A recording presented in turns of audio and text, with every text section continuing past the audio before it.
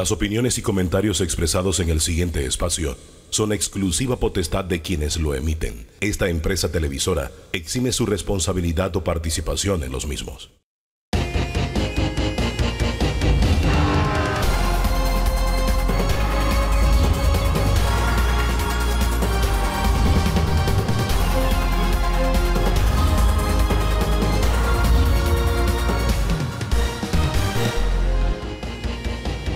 ¿Qué tal, qué tal? Muy, pero muy buen día. Bienvenido, bienvenida a Debate Abierto, este encuentro dominical que tenemos con el análisis, la opinión, las diferentes corrientes de pensamiento. Y hoy no voy a saludar a don Danilo Toro de primera.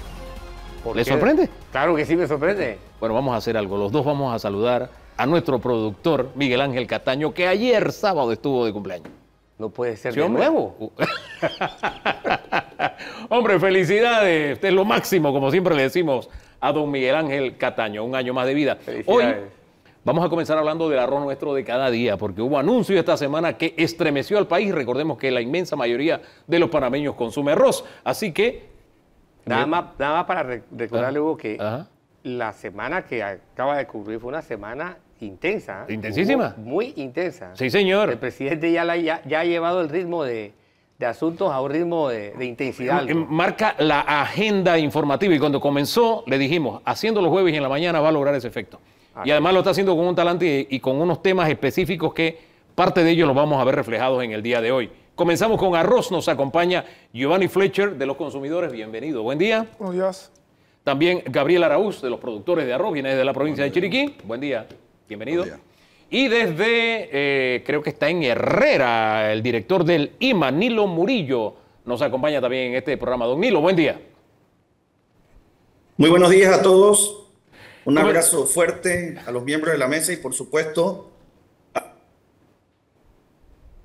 Bien, a los amigos oyentes. bien, comencemos con los productores de arroz. Se les acabó el subsidio, más de 800 millones en 10 años. Hasta la próxima siembra, en abril del próximo año, llega el subsidio. Bueno, primero que todo, nunca hemos tenido subsidio. Es una realidad. En el 2014, cuando se da, se cumple la promesa de campaña del presidente Varela, se establece una regulación de precios donde varios productos de la canasta básica se regulan. El arroz, que costaba entre 48 y 50 centavos la libra, la regulan a 40 centavos al consumidor. El supermercado, como ya no puede vender el arroz a ese precio, le baja el precio de compra al molino. Por ende, el molino le baja el precio de, de- que le pagaba al productor de 24 dólares a 17 balboas. Para que existiera un arroz que valía 50 centavos a 40 centavos en los supermercados. ¿Qué pasó ahí? Teníamos costos que superaban los 2 mil dólares ya en ese tiempo nosotros. El precio estaba en dice 24 por hectárea. Por hectárea. Bien. Se agarraba y se pagaba aproximadamente 24 dólares. Al bajar a 17, ni tan siquiera los costos de producción se, se- se- se recuperaban, mucho menos utilidad. Ahí nace lo que es la compensación al productor para que volviera al precio original de venta, para que mantuviera una su recuperación de su inversión y una utilidad. Esa compensación la recibía el productor, entonces era Esa- subsidio al productor. No, al consumidor, porque el que realmente se le baja el precio es el consumidor. Eh, El Hágame un alto ahí, Ajá. porque usted dijo al consumidor y el representante de los consumidores enseguida se echó su sonrisita. Ajá. Era un subsidio al consumidor. Bueno, al final, Dicen los productores. bueno, al final del día, eh, eh, si una cosa parece una cosa, es esa cosa. Ajá. Nosotros no tenemos duda de, un- de un- de ninguna forma de que el Estado, aportando de una u otra forma elementos de compensación, entre comillas, a favor de los productores, lo está subsidiando. A los productores. Claro, al final del día es, se ve y se percibe en esa línea. El problema de fondo de los consumidores, de las asociaciones de consumidores que nosotros representamos en Curepa y Padecu, pasa por el tema de las distorsiones que históricamente se han dado en el mercado pertinente al arroz. Más allá del tema del, del- del apoyo económico que el Estado le dé o no a los productores, lo que hemos vivido, Hugo, amigo, escucha televidente en general, eh, ha sido un- una década de distorsiones en el mercado en la cual el arroz que presuntamente se estaba apoyando no se veía en la estantería y cuando se veía, con la suerte que se viera, estaba afectado por distorsiones de, de contenido de calidad, violatorias de normas de contenido de Copanic y otra suerte de distorsiones de todo tipo que, que a- Dios sabrá qué más habrá en el fondo. La- Es cierto. la- la- pero, pero, pero el subsidio no era los consumidores, No, era los es que- productores, es lo que plantean sobre la mesa es que se, se genera, esto es lo mismo el tanque de gas, y vamos Ah. a ponerlo a través de la colación. Ok. Está el que embotella o en- envasa el tanque, el gas. Sí. Está el, el consumidor y está el gobierno. ¿Por qué le llega a 5 y resto el gas al consumidor? Porque le pagan a quién? Al que embotella. Al que embotella. Ajá.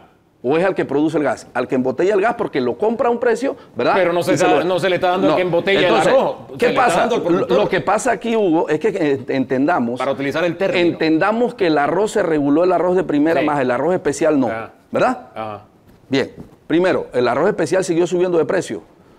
Pero ¿qué pasó aquí? Nosotros los productores no producimos, o sea, producimos arroz en cáscara sucio y húmedo. Ah. Se lo entregamos al molino y se lo vendemos a un precio. El molino que fue beneficiado porque pudo bajar el precio para comprar el arroz más económico para que él pudiese vender y poner en la estantería el arroz a 40 centavos. Así Pero que- ¿qué pasa? Ah. Cuando el, cuando el molinero coge el arroz, lo seca, lo pila, lo empaca, viene un proceso que es el que, que se desconoce. El productor no produce arroz de primera ni especial, produce una calidad de arroz. Cuando se pila el arroz, se da una situación en la que el grano entero lo ponen aquí, Sí. el grano quebrado lo ponen acá. Es un tema Bien. entonces del No, molinero y el que. Déjeme terminarle, permítame terminarle. Cuando van a producir el arroz especial, que vale 80 o más centavos la libra, cogen 95 granos enteros y 5 granos quebrados o partidos, hacen una mezcla y producen el arroz especial. Sí. Cuando van a producir el arroz de primera, cogen 70% de grano entero Ajá. y 30% de grano quebrado. Ahora, esto es- eh, aquí viene la situación. ¿Quién es el que tiene la potestad de decir, voy a poner en el mercado arroz de primera o arroz especial? Ahora, ¿Quién? Si el molino. Ok. Bien. Bien. Ahora, Ahora. si yo, si a mí, si a mí me dicen como molino que a mí me resulta, ¿cuál de los dos me resulta poner margen en el mercado? Yo digo el arroz especial. Oiga, y no solamente el arroz especial, porque el ar- el arroz de segunda está caro y es malo. Porque, Y está más caro que el de primera. Por eso le digo, está caro. Mucho más caro. El especial, caro. El tema con el de primera es que no había. Ahora bien, se suspende el subsidio, se acaba el otro año y también el control de precios para el arroz de primera.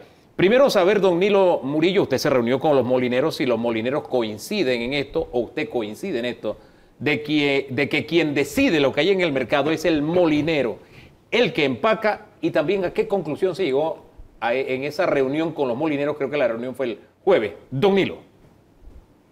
Bueno, es muy importante señalar, eh, dentro de todo esto que se está conversando, iniciamos con un trabajo desordenado en el momento que se metieron los controles de precios.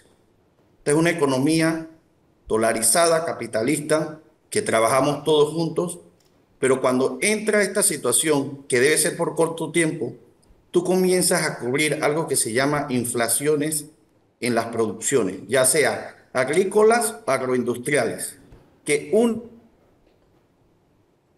una depende de la otra. En ese orden de ideas, la preocupación desde que nuestro gobierno llegó era cambiar de manera rápida y eficiente estas situaciones para darle estabilidad a un mercado desordenado completamente y que no tiene la apreciación de trabajar en equipo. En ese sentido, el día de ayer que fue una reunión preliminar que hicimos con los molineros, que igual lo vamos a hacer con varios eh, productores del país, llevamos un mensaje claro que el Instituto de Mercadeo Agropecuario va a fortalecer la producción de arroz y también de una manera especial poder cubrir con arroz económico al consumidor panameño. Si bien es cierto, se ha hecho un esquema eh, de investigación por,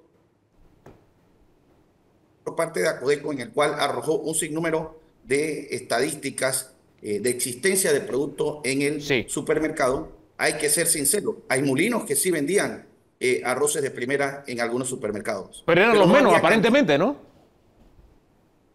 ¿Cómo digo? Eran los menos, aparentemente, porque por cada bolsa de arroz especial, por cada nueve bolsas de arroz especial, había uno de primera nada más.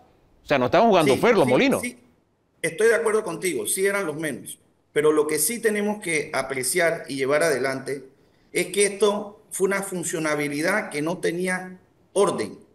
Y el Estado nada más no ve el, el esquema de que si existe o no existe eh, arroz de primera o eh, si se paga o no se paga o si se pierde o no se pierde una compensación o subsidio o como usted lo llame.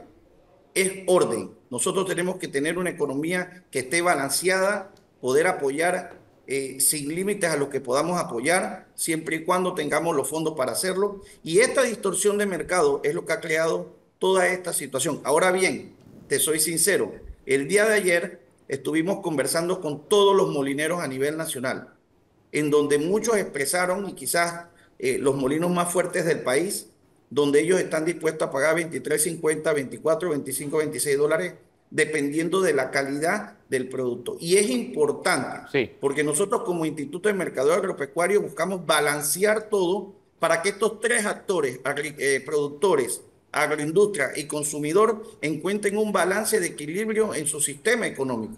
Sin embargo, también tenemos que entender cuál es la capacidad de producción que tenemos nosotros, que para eso propusimos mantener un departamento que cubra todo a nivel nacional y que auditemos la cantidad de hectáreas que nosotros realmente producimos y que también vamos a aplicar a través de contadores públicos autorizados externos una auditoría de las estadísticas de la cantidad de almacén de arroz que tenemos en silo.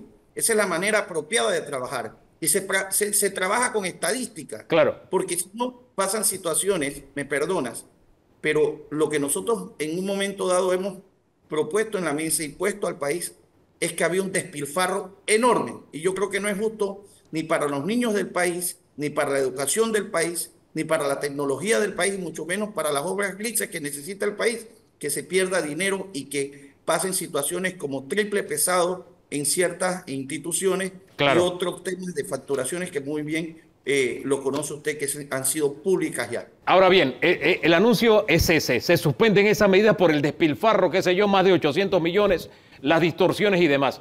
El gran temor es que ahora que se libera el mercado, los precios aumenten. Yo no sé si los consumidores tienen ese temor. Bueno, al final del día es el temor reverencial que siempre los consumidores tenemos. Allende al tema de las históricas distorsiones que hemos venido comentando y que el director ha venido también anotando.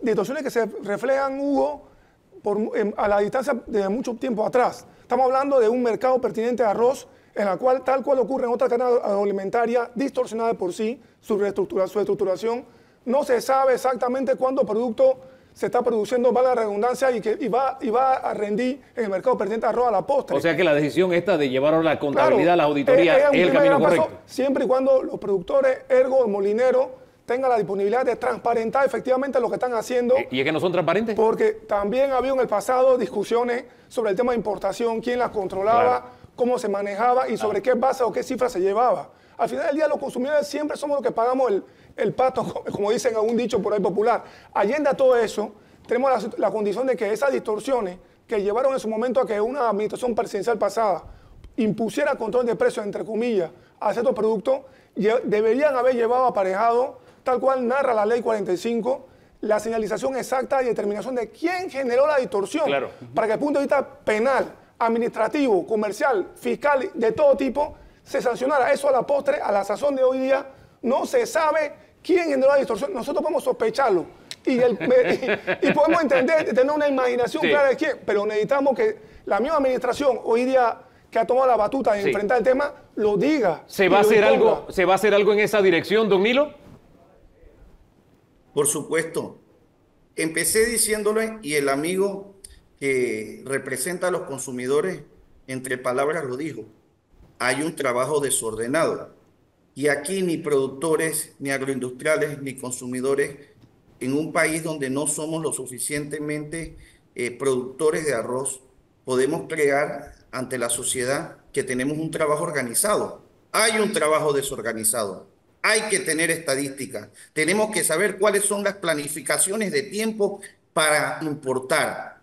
Cosas que no se hacen, porque aquí todo lo queremos hacerlo al apuro. Tenemos que ser profesionales y tenemos que tener la cultura de poder entender lo que cada uno hace. Ahora, más allá, más allá de esa planificación que está bien y ya le pusieron el ganchito aquí, es quién causó la distorsión y que enfrente penalmente, que enfrente ante las autoridades de distorsión causada. O sea, ¿podemos esperar que eso suceda en esta administración? Mira, es muy importante señalar algo respecto a lo que dijiste, porque esto hay que estudiarlo y entenderlo. Ojo con lo que voy a decir. Hace 10 años arrancó esto. Si no hay control de precios, entra la inflación y aumenta el precio. Y como muy bien lo saben los productores y como muy bien lo saben los agroindustriales, el arroz cuando llega en cáscara, húmedo, sucio, tú lo secas y lo limpias, también tiene una unidad de porcentaje que pierdes. Entonces lo que tenemos que valorar nosotros aquí son los costos que tiene cada una de las cadenas. Esos eslabones tienen un costo. Hay que entender esos costos. lo que no podemos es suponer la suficacia de esta situación, porque estamos al frente de un país que necesita una respuesta seria. Eh, es que no es suspicacia, don Nilo. Como tienen que ser. Don Nilo, es que no es suspicacia. Disculpe que lo interrumpa allí, es que no es suspicacia.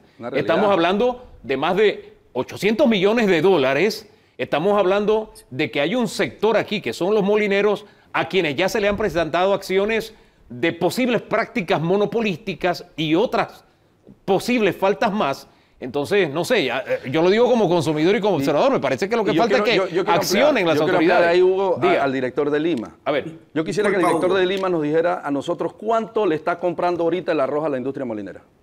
A ¿Y ver, cómo es el proceso? A ver. Y si el arroz es importado o es nacional. Y, la, lo sabe. y, esto se suma a la pregunta de si veremos la justicia. ¿Y por qué se lo hago? ¿Y por qué se lo hago, Hugo? Porque aquí, aquí se dice vamos a llevarle arroz barato al consumidor. Ah. Vamos a llevarle arroz a las tiendas a 25 centavos. Pero la realidad es que 25 centavos no cuesta la libra de arroz. Lo otro, aquí se ha ensañado simple y llanamente porque, desgraciadamente tengo que decirlo, el presidente casi que ha señalado que los culpables de esto son los productores. Lo otro, lo otro, aquí, aquí se importaron, aquí no se habla solamente de la producción nacional, donde productores son también molineros, la Universidad de Panamá es productora de arroz también, y que las calidades de arroz también dependen, las que llegan al consumidor dependen de un porcentaje que lo abastece la, la, producción nacional y la otra la importación. Haga un alto ahí porque se nos han acumulado los temas. Uno, veremos alguna acción legal contra quienes crearon la distorsión y de alguna forma se beneficiaron de las medidas tomadas. Una. Y segundo, entonces, la pregunta que pone ahora eh, el, el señor consumidor. Digo, el señor productor. Don Nilo. Actualmente Lima compra 55.33 dólares el quintal. Y lógicamente, en todo el año, y le digo al representante eh, de, los, de algunos productores, porque entiendo que tienen más, más representantes, en esta zafra estamos comprando una gran cantidad de arroz nacional. Pero también hubo hay que comprar arroz que viene de afuera porque llega un momento que el país se queda sin arroz. Claro. Esas cosas hay que decirlas. No podemos mentir ni tampoco agarrar o responsabilidad a personas. Para eso se hacen las estadísticas, como mencioné a su momento. Y el presidente, usted me disculpa, el presidente ha sido muy claro en lo que ha dicho. Este, no, este juego de buscar culpables no va a resolver tapar la inflación que hubo hace 10 años a la fecha y poder acabar con un sistema que está increstado en países como Argentina, Brasil, Bolivia, que han estado, Venezuela, que han estado bajo el mando de personas que tienen una idea socialista. Y este tema hay que traerlo a colación, porque nosotros somos un país que tenemos un desarrollo importante y que ofrecemos servicios. Y yo entiendo todo eso, don Nilo. Sí, yo entiendo todo eso, don Nilo, y muy bien pero se nos queda el tema de si la justicia va a accionar y se quedó ahí en el tintero. Don Danilo Toro se suma. Sí, bien. Hace más de 20 años el país tenía autosuficiencia de arroz. En la década del 2000. Exacto, en la década del 2000. Hace 20 años se comenzó a importar arroz en grandes cantidades, recuerdo el famoso arroz con pita. El punto al que yo quiero llegar es el siguiente, porque hay algo que no, no, me tiene, no tengo, no, no tiene sentido en, español, en, español a, la intemperie se dice algo que no cuadra. Y es que si la existencia de arroz de primera es el resultado de un asunto de falla en el proceso del arroz, porque es 60%, eh, se, tiene una proporción de 60% arroz de primera hace una década y 40% arroz especial, y el arroz de primera es el quebradizo, el que se, el que se rompió, etc., es proceso de una falla, ¿Cómo es que con el avance del tiempo, cuando las tecnologías mejoran, yo no, yo, yo no reduzco la proporción de falla, o sea, el arroz no lo obtengo de mejor calidad, por lo tanto, porque el, arroz de primera es un arroz de, de- de defecto. ¿Por qué nos quedamos atrás? Es la pregunta. simple. ¿Por qué Exactamente. ¿Qué, es lo que nos ha anclado a un pasado improductivo? ¿Por qué no- después de que fuimos autosuficientes. Y, y exportadores en los años, años 70 del siglo pasado, a propósito. Bien, ¿Por qué si- seguimos si- anclados al si- pasado? Si, bien es cierto, seguimos anclados en todo el sistema. Ajá. ¿Y cuál es uno de los sistemas? ¿Y por qué yo hallo que se ha dado la una de las circunstancias? Una, muchos nos comparan y nos dicen que los productores, la ineficiencia de los productores. ¿Y por qué no pasamos de los 100 y de los 100 y retito, 106, 105 promedio en secano? Pero ¿qué sucede? Que vamos a ver las condiciones que habían en el 2014 o antes y vamos a ver las que existen ahora, están peores. Ajá. ¿Cómo estamos en semilla? ¿Cómo estamos en financiamiento? Insumos más caros. ¿Dónde está, dónde está el IDIAP, el MIDA, el ISA, el mismo Instituto de Mercadeo Agropecuario? Mire, el director acaba de decir algo muy importante. Sí. Dijo que a él le cuesta el, el- el quintal de arroz 50 y resto de- 55.33. 55.3. ¿Pero cómo? Si el arroz estaba a 40 centavos y estaba regulado. ¿Por qué? Si es arroz de primera. Entonces, ¿cuesta o no cuesta el arroz más de 40 centavos? Oiga, se nos van a quedar muchas dudas en el tintero porque el tiempo se nos está acabando, pero varias de las los señalamientos que ha hecho el señor productor, Don Nilo, tienen que ver con que, según nos narra él, es como si el productor se hubiera quedado solo, porque preguntaba dónde está Lima, dónde está Lima, dónde está Lidia, dónde está todo el mundo, como que el productor está solito. ¿Usted tiene la misma percepción? Y una reflexión de cierre, por favor, muy breve. Bueno, primero que todo, el Instituto de Mercadeo está abierto para todos los vertientes, agroindustriales y productores. Yo me voy a reunir con los productores, en su momento se les va a llamar. Eh, dudo mucho que el tema sea un tema de financiamiento. Aquí es el único país que un productor consigue eh, un interés de 2%, eso es importante, pero hay que cumplir con la producción. Yo cierro con lo siguiente. Lastimosamente nosotros mantenemos en nuestras manos informes de hectáreas de arroceros que producen 60, 70, 80 quintales por hectárea. Eso es pérdida en Total. cualquier negocio que tú hagas en ese aspecto. Tú tienes que estar arriba de los 90 quintales. Eso deja mucha suspicacia porque tenemos informes de hace varios años y probablemente eh, es un negocio todavía, pero tenemos que investigarlo. Hombre, caímos en el punto. Como Esto hay que lo dijo investigarlo. No creas que no es Sí, parte de claro. lo que se va a realizar y Claro. lo que vamos a Caímos en el punto, don Nilo. Esto hay que investigarlo. El tiempo se nos acabó. Vamos a tratar de comprometernos y ver si los molineros también nos acompañan en la próxima edición. Cierre usted el parte de los Sí, consumidores. es importante que se cumpla la ley, Hugo. Hablar de aumento concertado de precios por parte de productores o cualquier otro sector viola la norma de, pro- de protección del consumidor libre de competencia.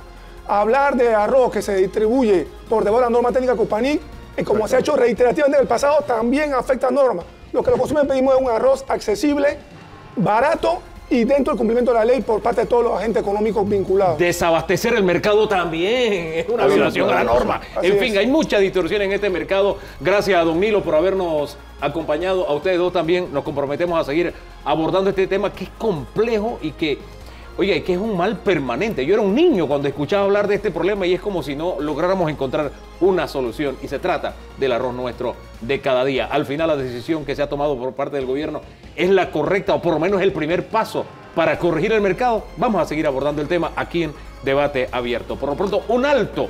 Y hablamos sobre la semana política en segundos, nada más, porque ha estado candente, como bien lo dijo don Danilo Toro hace unos segundos. Ya volvemos.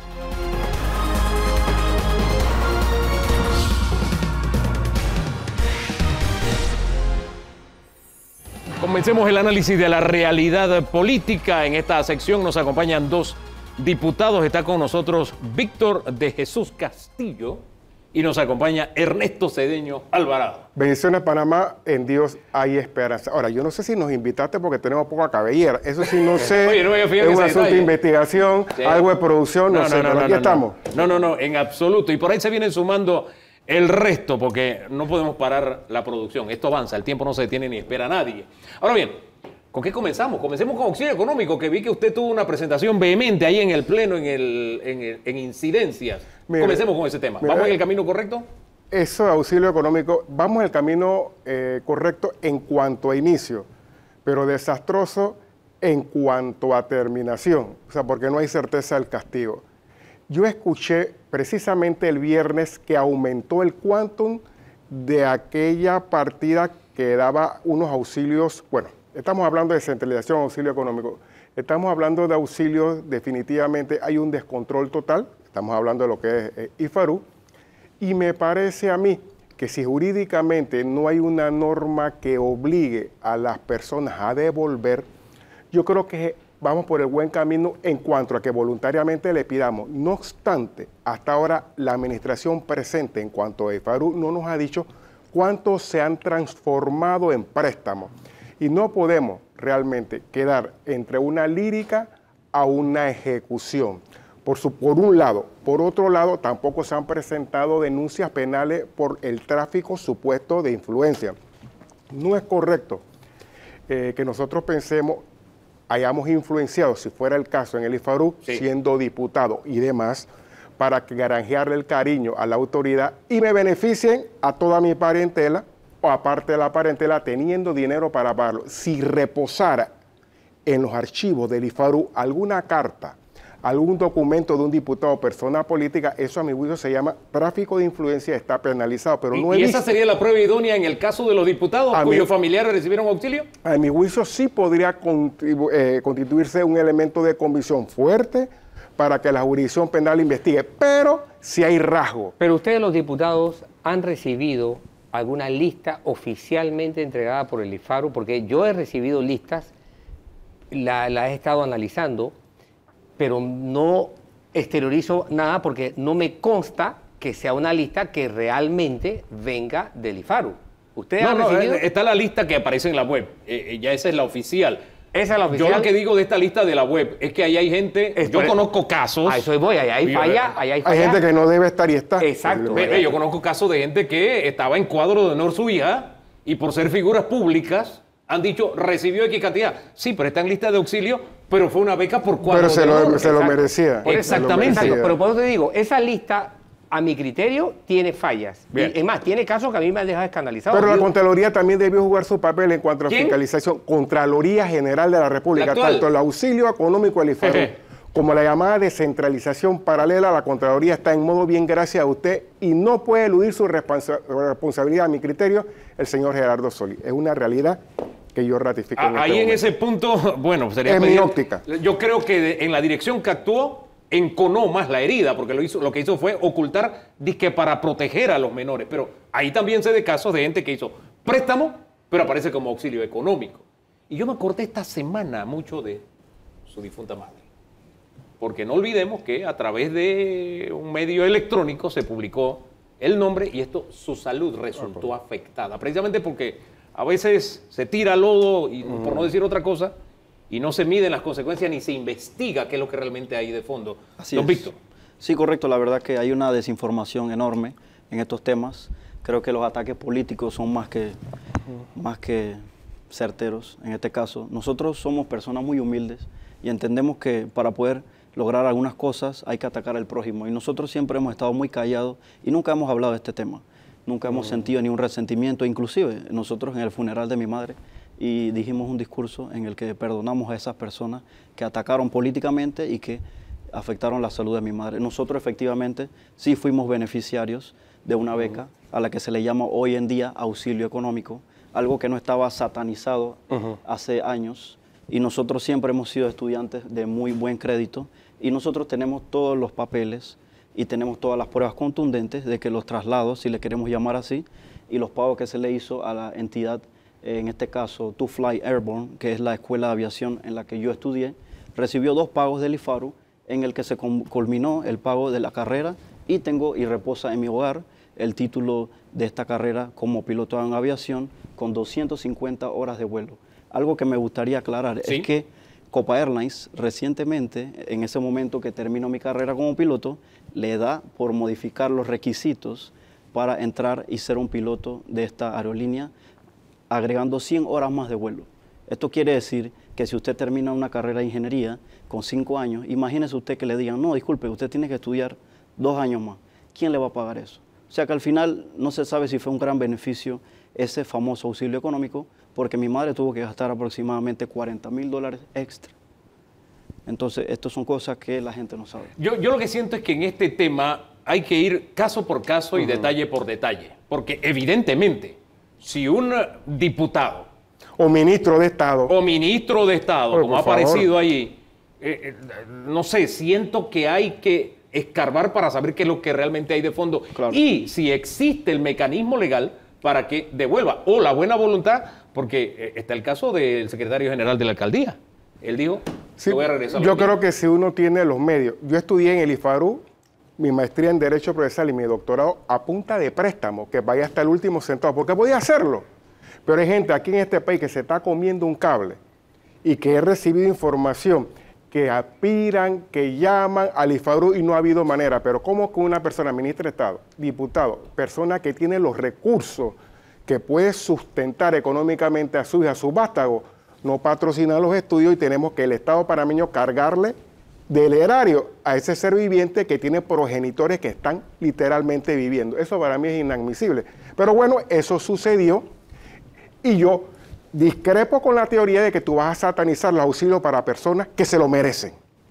Bueno, ese dinero... Pero tampoco, pero, pero Pero- tampoco tiene que ser un hoyo negro donde, donde entre Ah, todo no, el no, mundo. pero para eso precisamente deben haber regulaciones Claro. y fiscalización adecuada para que se administre adecuadamente los fondos del Estado. Claro que sí. Así es. Don Danilo. Sí, bueno, el, el- el- el tema realmente es, para mí, catastrófico de verdad, copiando un poco las palabras del señor presidente para varios Sin duda. asuntos, porque es un tema que desmoraliza a la población. Recordemos que la educación es la única forma no violenta de conseguir que la población mejore.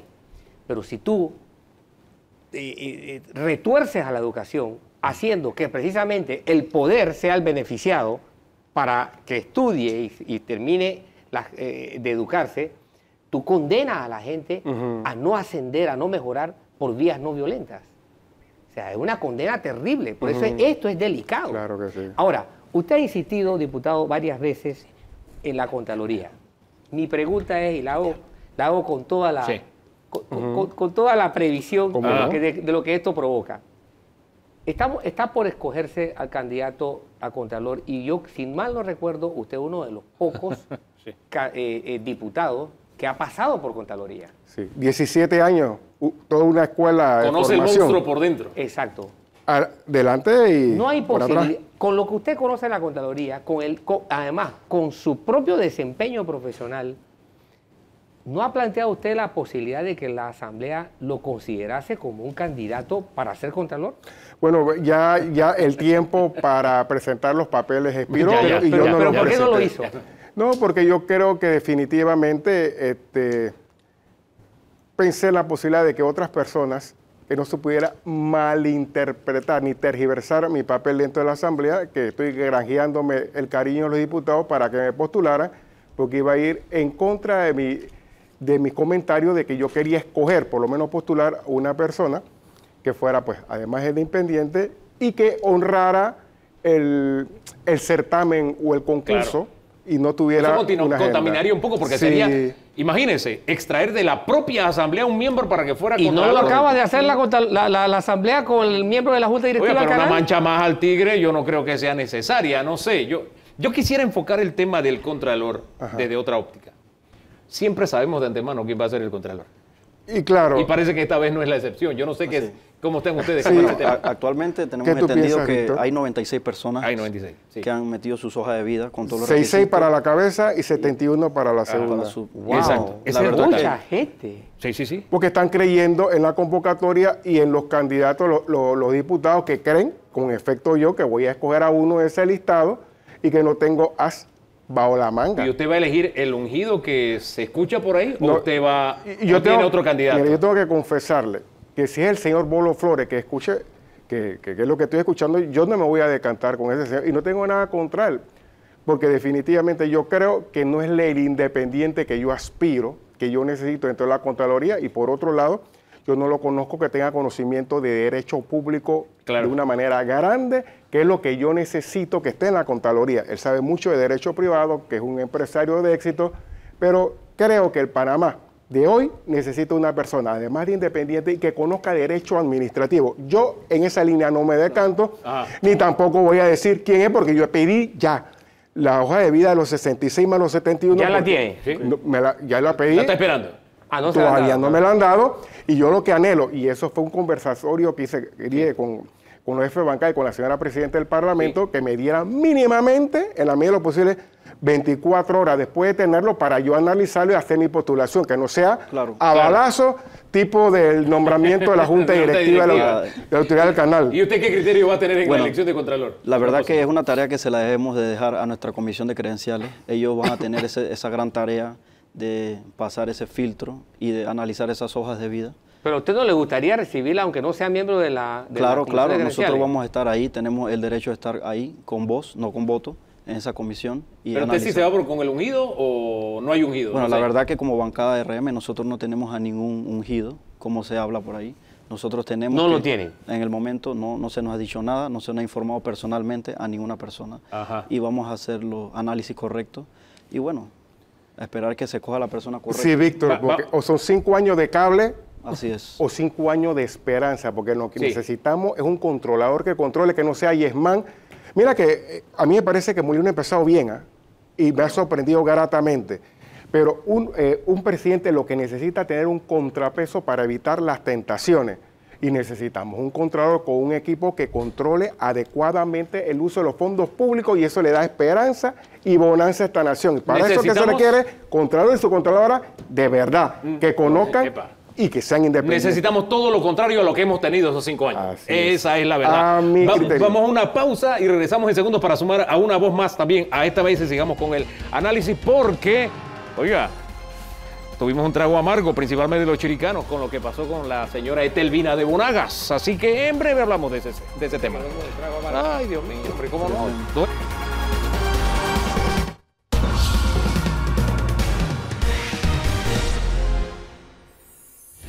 Don Roberto Zúñiga se suma a la mesa de debate abierto. Bienvenido. Bueno, buenos días a todos, feliz domingo. Eh, gracias Hugo, gracias Danilo por una vez más este, invitarnos eh, a mí para poder participar aquí en, Hombre, este, en este gran debate. Aquí estamos conversando. Bienvenido al, al- al doctor Cedeño y también. Sí, sí, aquí estamos conversando sobre, antes de irnos al cambio, sobre la elección del Contralor.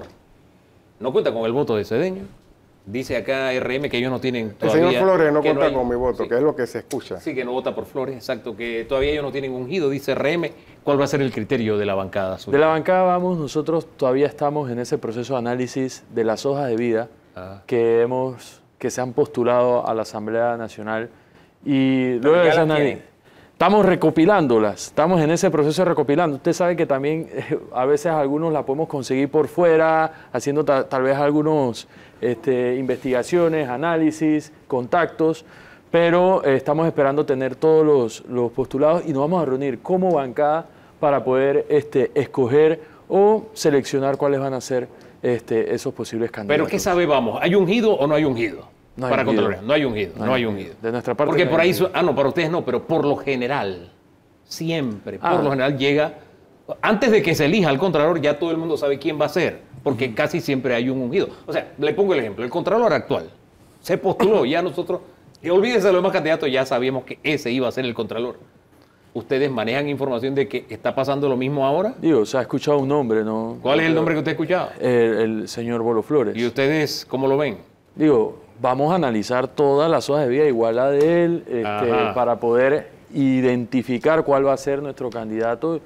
Pero yo hoy no puedo decir aquí un nombre preciso, conciso y que ese es nuestro candidato. No, todavía no. Nosotros como bancada este, vamos a, a reunirnos con, con los 20 para poder determinar este, quién es el candidato con las cualidades necesarias para poder hacerle frente a una institución tan importante que viene de un quinquenio eh, complicado y Qué, qué- qué ha- elegante, es complicado. qué elegancia, ¿no? que ha dejado mucho, mucho de qué hablar Claro. y que todavía estamos sufriendo las consecuencias de una mala administración y creo que hay que darle un giro completo ¿Cuál es a el una tiempo institución tan de, importante. de anticipación que ustedes tienen para recibir las hojas? Bueno, ahí no había, yo precisamente iba a presentar, se lo confieso, una modificación este, y se lo había anunciado pues a la, eh, a la Junta Directiva y, y hubo una reunión de bancada de acuerdo a una posición que yo tenía, porque ahí no hay un tiempo de anticipación y yo vislumbraba que iba a venir parecido, palabra más, palabra menos, Sí. de lo que vimos con el nombramiento del miembro de la autoridad del Canal de Panamá. Lo que dice la norma, que una vez termina la postulación, va a la comisión de credenciales, eh, la Comisión de Credenciales ve si reúne los requisitos y la lleva al Pleno para un informe. Claro. Como el procedimiento que me lo leí, este, todo de lo que es la resolución y la ley, no te dice un tiempo por el cual debe recibir, habiendo recibido el Pleno el informe de la Comisión de Credenciales, un tiempo, como una vacacio, por decirlo así. Entonces, cualquiera de los que están ahí en los 71 escucha ese informe y se puede levantar, postulo a fulano de tal. Y lo que yo pensaba evitar, y por eso digo, dame por lo menos un mínimo un tiempo de 24, y las bancadas que estuvieron ahí con Dana dijeron que estaban de acuerdo con esa posibilidad. O sea, que pudiese que gravitar una especie de acuerdo de que, oye, den un Sí. aire de con mínimo Claro. 24 horas para analizar la hora Claro, de 24 vida. horas es imposible. que Porque no sea corriendo. no necesariamente todos los diputados van a estar en la comisión de credenciales Exacto. viendo eh, todos esos momentos, porque Claro. uno tiene otra reunión en la comisión. Y al parecer hay ese tipo de acuerdo no escrito y espero que, que se honre. Yo, yo sé que usted quiere hablar de Telvina. Y No, ese no, trago no, amargo está ahí. Pero quiero a- a- Pero a sumar algo, a, a lo que que se nos va mencionó el doctor. Sí, súper rápido. Que también es importante y creo que el doctor estamos en la misma línea Ah. De poder este, que se le hagan los cuestionamientos necesarios a esos posibles candidatos. Pero eso no está establecido, no lo establece el, el reglamento interno de la Asamblea. Y nosotros también estamos con esa, tratar de lograr esa iniciativa con la Junta Directiva de la Asamblea para poder que se le haga ese cuestionamiento público, para no cometer el mismo error que se ha cometido este, en años anteriores. Como ciudadano le digo, sería la vía correcta. Porque también a veces... El Pleno es soberano y puede hacerlo. Sí, sí, y debería hacerlo. Por el bien de la imagen de la Asamblea se debería operar en esa línea. Y le decía que usted, yo sé que quiere hablar de Telvina porque usted recibí su video, dos videos suyos, pero virales de su participación, pero será más adelante porque usted mencionó así, mire cómo lo venció. El eh, televidente es- es- chiricana como ti. Como, Vamos a otra cosa, hombre. Eh, Usted lo venció el subconsciente hace un rato cuando habló de la eh, paralela, la, la- la descentralización paralela. Ajá. Quiero meterle el diente a eso porque, oiga, se descubrió, sí existía la descentralización paralela, no era cuento. no, Y, se nos negaba. se nos negaba y lo que no hay es certeza del castigo. Yo presenté una denuncia penal electoral ante las elecciones en el la Fiscalía General Electoral por aquello de los fondos que la directora Rosana Méndez ha dicho de que existió y fueron beneficiados algunos municipios y juntas del ala oficialista primordialmente. Y este es el día que el fiscal general el- electoral no ha dicho esta boca es mía. Entonces, existió la descentralización paralela. Para lo que no existió, pareciera que fuera para el Contralor General de la República. Y se lo digo de frente, no jugó su papel con su equipo de una manera certera, porque si dice hoy Roxana Méndez que existió, yo, eh, todos sabemos que existió, ¿por qué no hubo el contrapeso? ¿Por qué no hubo el control adecuado? Contraloría pudo haber evitado ese desmadre. Ahora, lo que está pidiendo, y te digo, ahorita mismo la directora de descentralización, de mi informe de qué lo usaste, no, eso se debió haber evitado.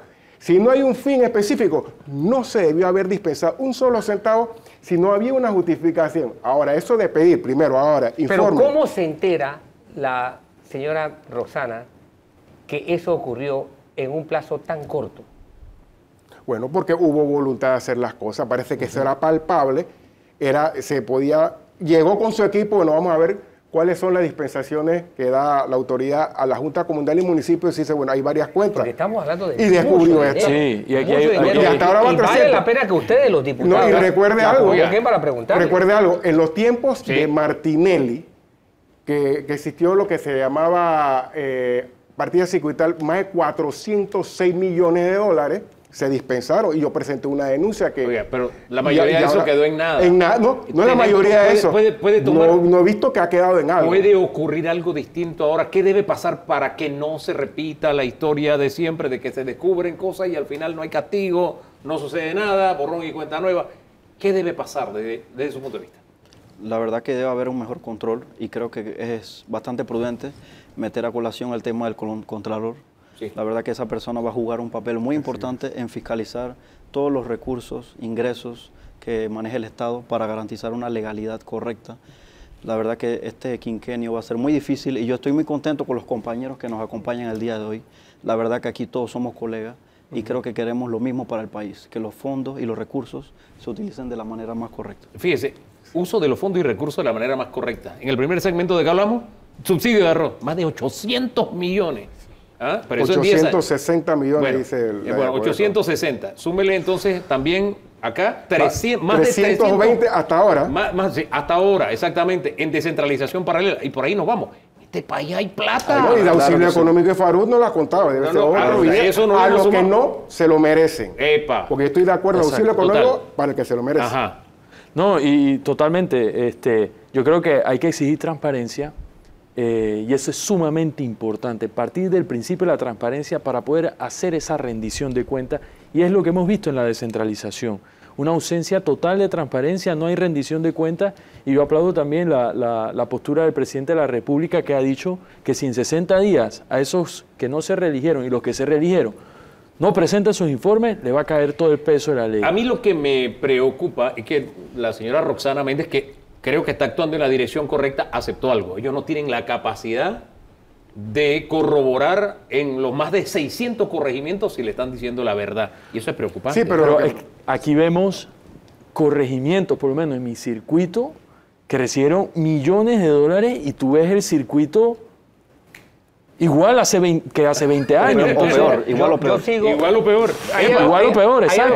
no- que es lo que yo no entiendo, A lo, ver. lo que tú estás Entonces. ¿dónde está esa plata? Uno, ¿cómo una información de tanto dinero la señora Méndez la descubre en un plazo tan corto? Y segundo, dado que ella no tiene la capacidad de hacer esa corroboración, entendería yo que entonces quien tiene que hacer la corroboración o es la Contraloría o es la Fiscalía. Eh, eh, ella dijo que la vía que va a tomar es que de los informes que le presenten que ellos no puedan, ellos van a pasárselo a la fiscalía, se lo van a pasar al Ah, Ministerio Público. directamente al Sí, Ministerio pero. Exacto. pero no se olviden de algo.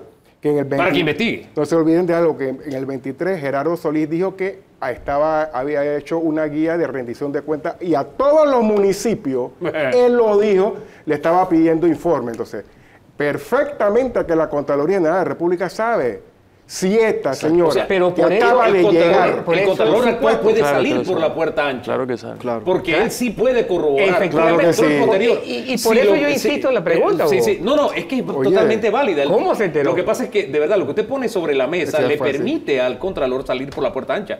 Porque esa guía puede aguantar por escrito lo que sea. Pero Pero, él- él tiene los la gente de Contraloría puede ir a ver si la obra existe o no existe. Claro que sí. Exactamente. Y nos ahorramos tiempo. Por eso yo he, pre- yo he hecho las dos preguntas. Ajá. Pero es lo que ha dicho el doctor Seño. Aquí la prueba y la, es la voluntad.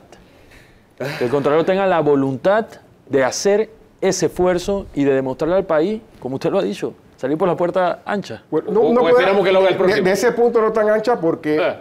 Bueno, eh, la Bueno, auditoría tiene una deuda ya y le presentó una denuncia a- al Ministerio Público para que investigue porque no colaboró. Pero con esta, el día que tiene una rendición de cuentas quiere decir que tiene los informes y puede colaborar. Ha llegado Roxana eh, Méndez y en menos de lo que se percibe un ñato, en menos que eh, ya la mujer dice, "Ey, esto, eso se va a parar, Eh, este oiga, informe, este evidente. programa. Aquí estaban las Pues ya, pero publicaciones entonces, de ¿cómo los es posible? periódicos, Sí, sí, sí, los sí. medios de comunicación, presentamos reportajes sobre ese tema. No puedes ocultar Y evidentemente el, la avalancha de billetes, la lluvia de billetes de millones estaba allí. Y lo decíamos en su momento, las obras ¿dónde están? ¿Dónde está? Y no aparecían las obras. Y siguen sin aparecer. Eso es lo que me preocupa. Así es. Bueno, ustedes son diputados, ustedes son tres diputados de tres circuitos distintos. Yo supongo que en sus circuitos ustedes se han preocupado por, por lo menos saber si ha- se ha hecho algo en el, en el ámbito de su, de su espacio circuital. Bueno, la verdad que lo que se ve y la comunidad siempre dice es que Porque- hay proyectos que dicen, aquí se gastó 6 millones, pero uno ve solamente dos banquitas Re- re- y un pequeño columpio. Re- recuerdo-. Esa, esa es la famosa descentralización de la que Recuerdo- hablan, me imagino. Recuerdo un diputado que en su campaña, precisamente colega suyo, don, don Hugo, de, de, de Tocumen, Ajá. se dedicaba, exacto, eh, Richard, que se dedicaba específicamente a cotejar disponibilidad de partida contra obra realizada. Exacto. Hizo su campaña solo haciendo eso. Claro. Oiga, y fíjese la, la gente cómo se hizo eco, porque al final está la obra o a medio palo o no. Espérate, esto te costó de verdad 6 millones y nada más hay dos banquitas y, y una lámpara. ¿Cómo es posible, no?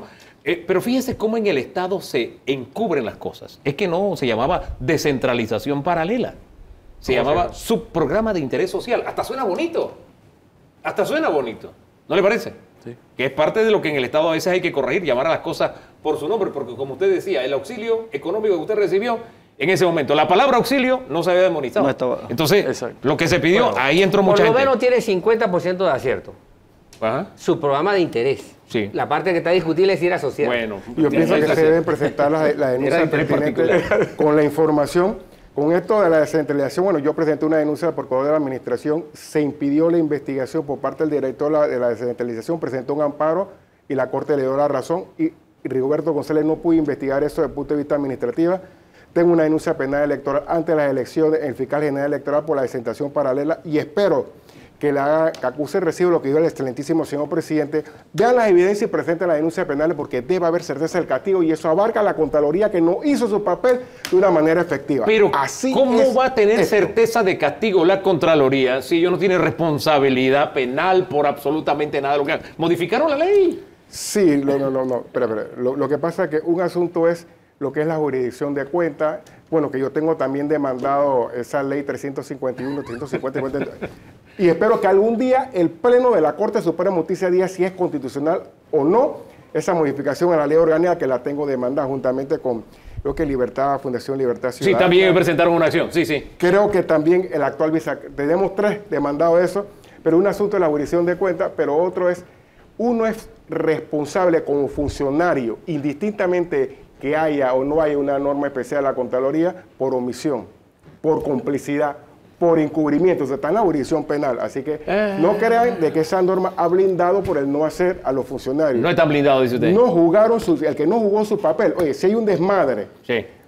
hay una disipación de fondos públicos, ¿dónde estuvieron los que controlan? Es que Eso es como el asunto del arroz. Yo te digo, oye, ¿dónde estuvo el control? No está solamente a Codeco, la Contraloría, o sea, si te están dando un subsidio, lo mínimo... Tiene que haber arroz de primera, mínimo. Oye, para ver. ¿por qué no hay? Entonces, ¿dónde está el papel del Estado que controlaba? Y Ah, fíjese, sí. en eso del arroz, disculpe, ahí había un círculo vicioso. Me acuerdo que Zulay Rodríguez y el señor Quintero, cada cierto tiempo decían, no hay arroz. Y cuando iban a la investigación, llenaban nuevamente las estanterías de arroz. Yo no creo que sea tan difícil investigar quién era el que acaparaba, Bueno, ya yo le pedí, el arroz. ya yo le ¿no? pedí, En fin. ya yo le pedí en incidencia al Procurador General de la Nación que haga la investigación Sí. por un supuesto acaparamiento. Yo creo que esto, es- esto tiene que llevarse al plano de la investigación y que, porque ahora los productores dicen que son los molineros, otros dicen que es esto, bueno, el que sea, el que se llevó el billete, que responda, pero penalmente. El productor no empaca. Eso aquí, sí es cierto. Aquí Diga. el tema de la transparencia pasa también en esos fondos de descentralización, en qué se utilizaron. Claro. Y obviamente y previamente al proceso electoral. Ay, ay, ay. Entonces hay que ser muy responsable porque ahí ¿Debería entonces también el Tribunal Electoral No, es la Fiscalía General Electoral, por eso que yo presenté una denuncia, porque el que investiga, el Tribunal Electoral en un momento determinado sanciona algunas causas, pero el que investiga todo lo que son los llamados delitos penales electorales se llama Dilio Arcia y su equipo. Señor, usted tiene una, una denuncia antes de las elecciones mías. Entonces, Puede desempolvarla de pronto. bueno, yo- es que ese es el asunto. Usted utilizó la palabra desmadre hace un ratito. Hubo un despadre, desmadre, no sé cómo quiere catalogarlo usted. En la UNACHI, fíjese que suspiro profundo porque, bueno, es mi tierra, ¿no? Lamentablemente, todo lo que sabíamos por primera vez eh, queda tan, tan desnudo ante la opinión pública, ¿no? Lo suyo tuvo que ver primero con, las- con los cuestionamientos que uso- hizo por los bonos, que era por lo que se pedía 600 mil. ¿Cuál es la base para pedir los bonos, los aumentos y, y- y todo lo demás, no? hay una, o sea, lo que ella establecía es que había un acuerdo Sí. eh, del Consejo Académico Ah. De la universidad que le daba la potestad, pero eso es algo que nosotros aquí cuatro, bueno, acordamos eso y ya, o sea, pero se pasaba por encima todo tipo de ley, la ley de prima de antigüedad que establece la prima de antigüedad, la verdad que es una verdadera sinvergüenzura eso que vimos y que cómo los fondos públicos se manejan de una de tal manera tan irresponsable. Y hay que ponerle eh, el cascabel al gato, como se dice, porque esto no puede seguir pasando. Y no solamente en la UNACHI. Yo creo que esto ha desencadenado que otros ciudadanos nos hayan llegado a nosotros a, a través de las redes sociales y también hayan denunciado casos en otras universidades. Eh, y, y hay que dejarlo muy claro, esto no es contra la, la comunidad estudiantil. Esto es contra la administración de una universidad que se creó o que tuvo los inicios eh, o la- la- el fundamento aspiracional de esta universidad es de 1960, pero se logra constituir por la, en un- a través de una ley en 1994 para poder llevar la educación superior a una provincia tan importante como es la provincia chiricana y que se le está totalmente dando la espalda a los jóvenes de esta provincia y del país, porque no supieron justificar el trabajo que están haciendo, las investigaciones, este, eh, las obras que están realizando, o sea, cuáles avances o qué le ha dado la UNACHI al país, además de, de- los profesionales que tiene en materias técnicas, en materia de investigación, qué le ha dado la UNACHI al Y país. se ha hecho mucho más evidente porque en la asamblea anterior, yo creo que esa señora no se había sentado y ya le estaban aprobando lo que pedía. Y por primera vez es cuestionada. Y me llamó la atención el tema de la prima antigüedad, que ellos lo calculan, y ella lo decía muy llena de, motivos, porque los órganos de gobierno de la UNACHI habían decidido, como si esos órganos de gobierno fueran superiores a nuestra constitución o a nuestras leyes o a nuestros códigos, ¿no?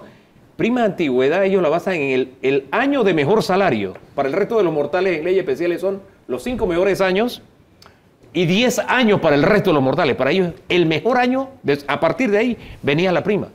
Totalmente. Y- y eso- la ley eso- pasaba- Exacto, y es una omisión a la ley. Claro. Entonces ahí hay un tema de malversación de fondos, muy bien como lo recalcó mi colega eh, Augusto Palacios, eh, porque ella está pues, pasando por encima de la ley y no puede ser posible. Augusto estará. va- Vamos, no, no, hoy nos acompaña también más adelante en el siguiente evento. ¿Alguien más? Jonathan, Jonathan Jonathan. Jonathan nos va a estar acompañando, que también cuestionó allí. Cuando Ajá. una personalidad del Estado Sí. asiste a una comisión, ustedes, ella es libre de llevar a quien quiera llevar de acompañante o ustedes le ponen alguna... Ella es libre de llevar Sí, sí. a quien quiera. Lleva su equipo, llevan su equipo técnico Se de lo apoyo. pregunto sí. porque me llamó la atención las veces que ella le respondió que no tenía información sobre lo que usted le preguntaba. Y eso no debe ocurrir. Sí, sí. O sea, Ni para él ni para es- ninguno. Es, obvio que una persona no va a saber, Sí. No va a saber todo lo que Todo, le pregunte, exacto. pero tú tienes que estar acompañado Sí. de quien maneja la cifra de esto, de quien maneja O la por lo menos tener una idea. O- Exacto, Sí. o sea, ella, e- e- ella tenía que estar acompañada de quienes manejaban la cifra. Por eso me llamaba la atención su, su soledad de argumento y su soledad física, en el sentido de que Sí. no- no- ante las preguntas varias veces contestó, no sé, no, no tengo Pero, pero es lo información". que menciona Hugo. O sea, venimos, pasamos una comisión de presupuesto que literal le dejaba todo en bandeja de plata a una comisión de presupuesto que está trabajando bien eh, y que está haciendo las cosas y el proceso de fiscalización este, importante eh, a, todos a, todo- a todas las autoridades, sea quien sea, porque ese día también se rechazó, eh, se suspendió, o sea, hubo una suspensión en el, en el traslado de partida del MIBI y un rechazo a la UNASHI. Sí, y eso O sea- es importante porque yo no sé, yo creía que la mayoría, la planadora le iba a decir que sí a la UNACHI y la lógica me decía que le iba a, que- de- a decir que sí a eh, el, el MIBI, pero resulta que no, eso me dice, Claro. hay voluntad de corregir, no sé, Claro, la verdad que En algunos. El, el quinquenio anterior hizo las cosas tan mal que este quinquenio que viene va a quedar bien y eso espero, Dios primero, porque creo que todos tenemos la voluntad de hacer las cosas bien. yo no diría todos, pero porque lo que pasó con Jackson sorprendió a muchos, así que ya ahí Bueno. no están todos. Bueno, eso es un tema bastante técnico que los que entienden un poco el reglamento interno de la Asamblea no se puede echar para atrás un proceso que ya estaba en pie. Bueno, ya, Y- ya, ese, ya ese es un paso, ya, ya ese es un trago que se tomaron todos. Pero al final hubo una, una buena decisión en consenso. Se decretó un receso y se hizo bien. Yo creo que no todos quedaron contentos con el receso. No, claro, claro. fueron que 24 horas de no todos quedaron contentos. Así que, por eso le digo, no todos, Claro, algunos, claro. o por lo menos la mayoría de la aplanadora. Seguimos hablando de Telvina, ¿le parece?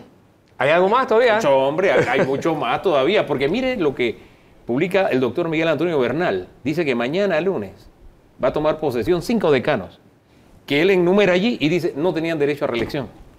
Y acuérdense que allá estaban familiares, parejas, eso es una cosa. Y es cuartel de invierno del PRD.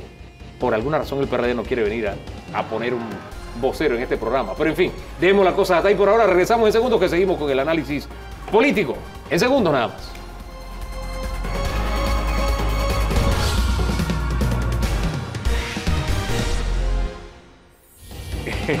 Oiga, se suma José Antonio Domínguez, panameñista, a la mesa. Y también se suma Jonathan Vega, del movimiento Vamos, chiricano, usted, ¿no? Por supuesto. Eh, no, usted, por supuesto, es como que no hay caso, tiene que Meto, ser. ahí tiene que Meto, meter faltó el- el- ¿Tú también eres chiriquí? medio. Yo también soy medio chiricano. ¿Ah, sí? porque mamá, Que está en la Mi presencia. mamá es chiricana. Y, y- y este se cree chiricano, así que imagínese. Pero usted, ¿por qué dice que se cree? Yo tengo el derecho a la La- Ahora que el presidente, Él se autopercibe el, pre- el se presidente, autopercibe el chiricano. presidente de- dijo en su última conferencia de prensa que había un mecanismo expedito de naturalización. Yo tengo va- derecho a eso. Usted va a echar mano de eso. A, Fíjese, mí no, a mí no me han dado mi pasaporte. no. Pues yo sí tengo derecho. fíjese que hoy hemos hecho un programa diferente, ¿no? Usted sabe, se han ido rotando rostros, se han ido sumando nuevos. Permanece, permanece Ernesto Cedeño con nosotros, eh, porque ha sido un programa, hombre, como usted dijo, basado en que esta semana fue Intensa. intensa. Es más, mire que el señor Domínguez entró hablando del Contralor, que ya tratamos anteriormente, pero dijo cosas calientes. Yo no sé si las puede repetir al aire. Así que eh, yo tengo una muy, pero muy mala impresión de los que han pasado por Contraloría después de Chinchorro y de Chembarría. O sea, no hemos tenido una verdadera Contraloría. Ahí no se ha hecho el trabajo que la Contraloría debe y está llamada a hacer. Ese trabajo requiere de, un, de profesionales y pref- profesionales bien capacitados. ¿Cuál es el trabajo de la Contraloría? refrendar y firmar cheques y pasarlos. Dar visto o bueno. O dar visto bueno, o tienen que hacer una, una evaluación de lo que se está contratando y si los precios son correctos, si estamos comprando los materiales correctos. ¿Se Eh, está mira, haciendo o no es, se está es haciendo? que tal vez las No. nuevas generaciones no lo recuerdan, pero me acuerdo que llegaba a la mesa de Chinchorro, llegaban la petición y él decía, esa tasa está muy cara, consígueme la más es. barata. Y le obligaba a hacer el mejor uso de los recursos del Estado a los Es funcionarios. que así, ese es el trabajo del Contralor. Pero, pero hay- hay que hacer también un poco más justo en el sentido de que hay normas que hacen que la Contraloría tenga las manos atadas. Por ejemplo, Pero se la han ido creando en el camino. los procedimientos de Panamá Compra, yo he, yo he escuchado a multitud de funcionarios decir, si lo compro por el portal, el producto me sale mucho más caro que si voy a un almacén y lo compro. Eso lo he escuchado en cantidad de funcionarios. Hagamos, hagamos un análisis bien rápido. ¿Tú sabes en cuánto estaba el kilómetro de carretera en el gobierno de Mireya Moscoso? El kilómetro de carretera en concreto ¿A cuánto estaba? no llegaba al millón de dólares. Ajá. ¿Y qué pasó? ¿Cuánto empezó a tener el costo del kilómetro de carretera con Martín, que fue el siguiente presidente? Se pasó el millón y medio. ¿Y después? Y, y no solamente eso, perdón, Hugo, pero aquí pagamos tramos en la vía Domingo Díaz a 11 y 12 millones de dólares el kilómetro. ¿Dónde está Contraloría? Por Dios, o sea, que me vengan con la excusa que quieran. Ahí no se usó material traído de Júpiter ni de Marte que hubiera encarecido los costos a esos niveles. Se usaron materiales que se usan todo el tiempo. ¿Y por qué ese precio no se lo dan a la empresa privada? Si tú vas a la empresa privada y me piden que, que construya con las especificaciones del MOP un kilómetro de bulevar, no me lo van a pagar a 11 y 12 millones de dólares. Y que yo no ponga el precio bien para ver si me lo van a dar. ¿Dónde está el trabajo del Contralor? Hombre, por eso es tan importante ponerle el ojo al que va a ser el próximo Contralor. Y yo no sé si a usted le suena esto, le está sonando desde el celular, pero no sé si le suena esto. Pero después del señor Carles, la mayoría de los contralores hemos sabido de antemano quién es porque ha habido un ungido. Sí. Y en esta ocasión se habla de ungido. Eh, yo no sé si tiene la, tiene la misma información. Hay un nombre que suena, no sé. ¿será Sí, hay una persona que suena, tengo una muy buena eh, eh, imagen de él, creo Sería un buen contralor. siempre y cuando cumpla con las funciones que debe tener un contralor. Tienen que hacerse de un equipo y un equipo que los ayude, un equipo. Si tú no eres ingeniero y tú tienes que refrendar un contrato de ingeniería, ¿qué vas a hacer? ¿Vas a inventar? ¿Vas a decidir No, por pues si tú no sabes, tú no debes agarrar ese cargo. Claro. No, no, no, no, no. Domínguez, si tú no sabes, tú no puedes agarrar ese cargo porque tienes contralor, equipo. contralor no tiene que ser ingeniero. No, tiene que conocer eh, finanzas públicas, de derecho Pero, público. pero eso no significa que tiene que saber de los costos de un no, proyecto de tienes que ingeniería. saber derecho administrativo. Tú no puedes estar inventando allí. en eso equipo. estoy de acuerdo. Tú eres el conductor. Sí, pero si para eso tú necesitas, ¿para qué son los asesores? Tú necesitas tener tu equipo de Sí, te asesoría. asesora, pero tú decides. Tú Es no sabes qué vas a decidir, qué tú pero haces ahí. ¿Cómo vas a decidir si tú no tienes idea del tema en particular que vas a tratar, como en un caso de construcción, y no tienes asesores calificados? Y ellos te dicen, sí, está bien, A mí me parece bien. Y un producto que debes comprar en 100 lo estás comprando en 500. Mi papá hizo un, eje- un ejercicio en la caja de Seguro Social Ajá. y se frustró. Un producto que él compró en 50 dólares lo vendió en 500 Uh. y se lo trajo al Contralor. Es Mira, es que hay un, hay mira. un tema de A ver, Jonathan. hay- Hay un tema de sobrecosto. Hay- usted acaba de mencionar el tema de la carretera. Hay un tema Perdón, de sobreprecio. Aclaremos, Ok, sobreprecio. sobre- Sobrecosto son requeridos. Vamos a ponerlo así. Hay un tema de sobreprecio. Las calles valen más de lo que realmente sería Claro su que sí. costo. Entonces, es un tema de fiscalización también. La Contraloría tiene que fiscalizar. Y siendo Es el quien, quien sea el ungido o no, es una persona que tiene que cumplir su rol como debe ser. Y el rol es fiscalizar y ver las cuentas bien. Porque Panamá necesita que podamos eh, eh, fiscalizar los fondos del Estado eficaz y eficientemente. Oiga, es para que alcance la plata. Porque al supuesto final sí. aquí se habla de millones, millones, millones. Que 800 en subsidio que nos usó bien, Pero- que 300 en descentralización, pero ¿qué debe que lo- lo- los auxilios económicos ¿qué- mal utilizados, acaso pagando sobreprecio por obra y al final el país en la condición que nos encontramos. Alguien tiene que poner Pero. ¿qué debe gobernar? No, y no solamente ¿Experticia eso. O, o- Ajá. o- o- o- o peso político. Ajá. Experticia A juicio del 100%. diputado es experticia. Experticia Por lo tanto, 100%. no debiera llegar a la Contraloría alguien que no domina el tema. No estoy de acuerdo, pero es Una que combinación. el contralor tiene que tener conocimientos, obviamente, de administración pública, Básico. pero el contralor va a manejar contratos de medicina, de agricultura, de construcción. El Para eso tiene que tener un equipo. El Ahí, contralor no no solamente, no solamente ver el tema de los sobreprecios, Ajá. también tenemos que ver un tema de auditoría. El, el doctor Cedeño envió una solicitud para verificar cuáles eran las auditorías que se habían hecho a Contraloría y no tenemos resultados. Entonces, Pero- sí es un tema no solamente de fiscalización, sino también darle continuidad a que los fondos que se utilizaron se, se utilizaron como debe ser. ¿Y alguno de ustedes le no se, ha hecho- preguntaría- no, no- no se han hecho a la fecha auditorías Por, como por debe eso ser, que ¿no? ya presenté una denuncia penal contra Gerardo Solí, eh, Entonces, Procurador General el Caraballo. Contralor ha sido completamente inoperante. hizo, otras no. y- Pero él alguno se de ustedes le preguntaría al, nuevo, al nuevo Contralor cuando lo tenga enfrente, oiga, ¿quién va a ser su asesor en materia de productos médicos hospitalarios?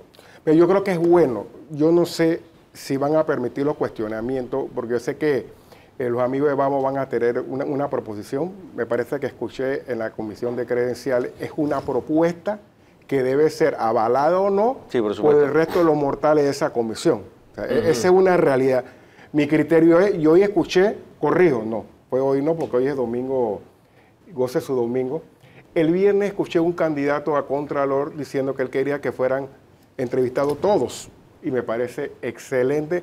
Y ese debe ser el talante de cada uno de los candidatos. No temer a, la- a los, a- a cuestionamientos. Por supuesto que van a haber algunos que van a querer blindar, si es que existe algún ungido, porque lo que uno quiere... Ahí no vamos a dar cuenta. No, lo que uno quiere, y si tú vas a hacer contrario, responde. Claro. Créeme, y yo creo que sí es necesario las interpelaciones, las interrogaciones. Pero, pero, pero aquí Domínguez dice que el ungido sería buen, buen, buen, buen Espérate, espérate, es que para que te me digan que es ungido, yo he o escuchado de un nombre, pero eso no significa que de repente es el mismo que tú estás pensando.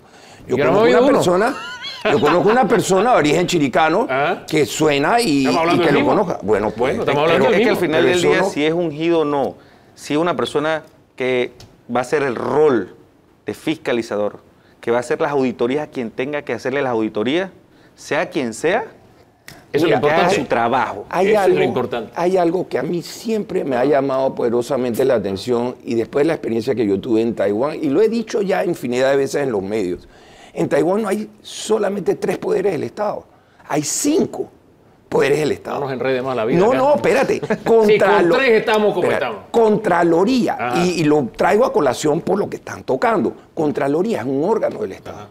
¿Por qué? Porque él no tiene influencia el presidente de la República, ni la Asamblea, nadie, ni la Corte Suprema. Es un órgano del Estado y se le respeta. Y el quinto es la carrera administrativa que ellos lo llaman el Examination Yuan. Ay, padre.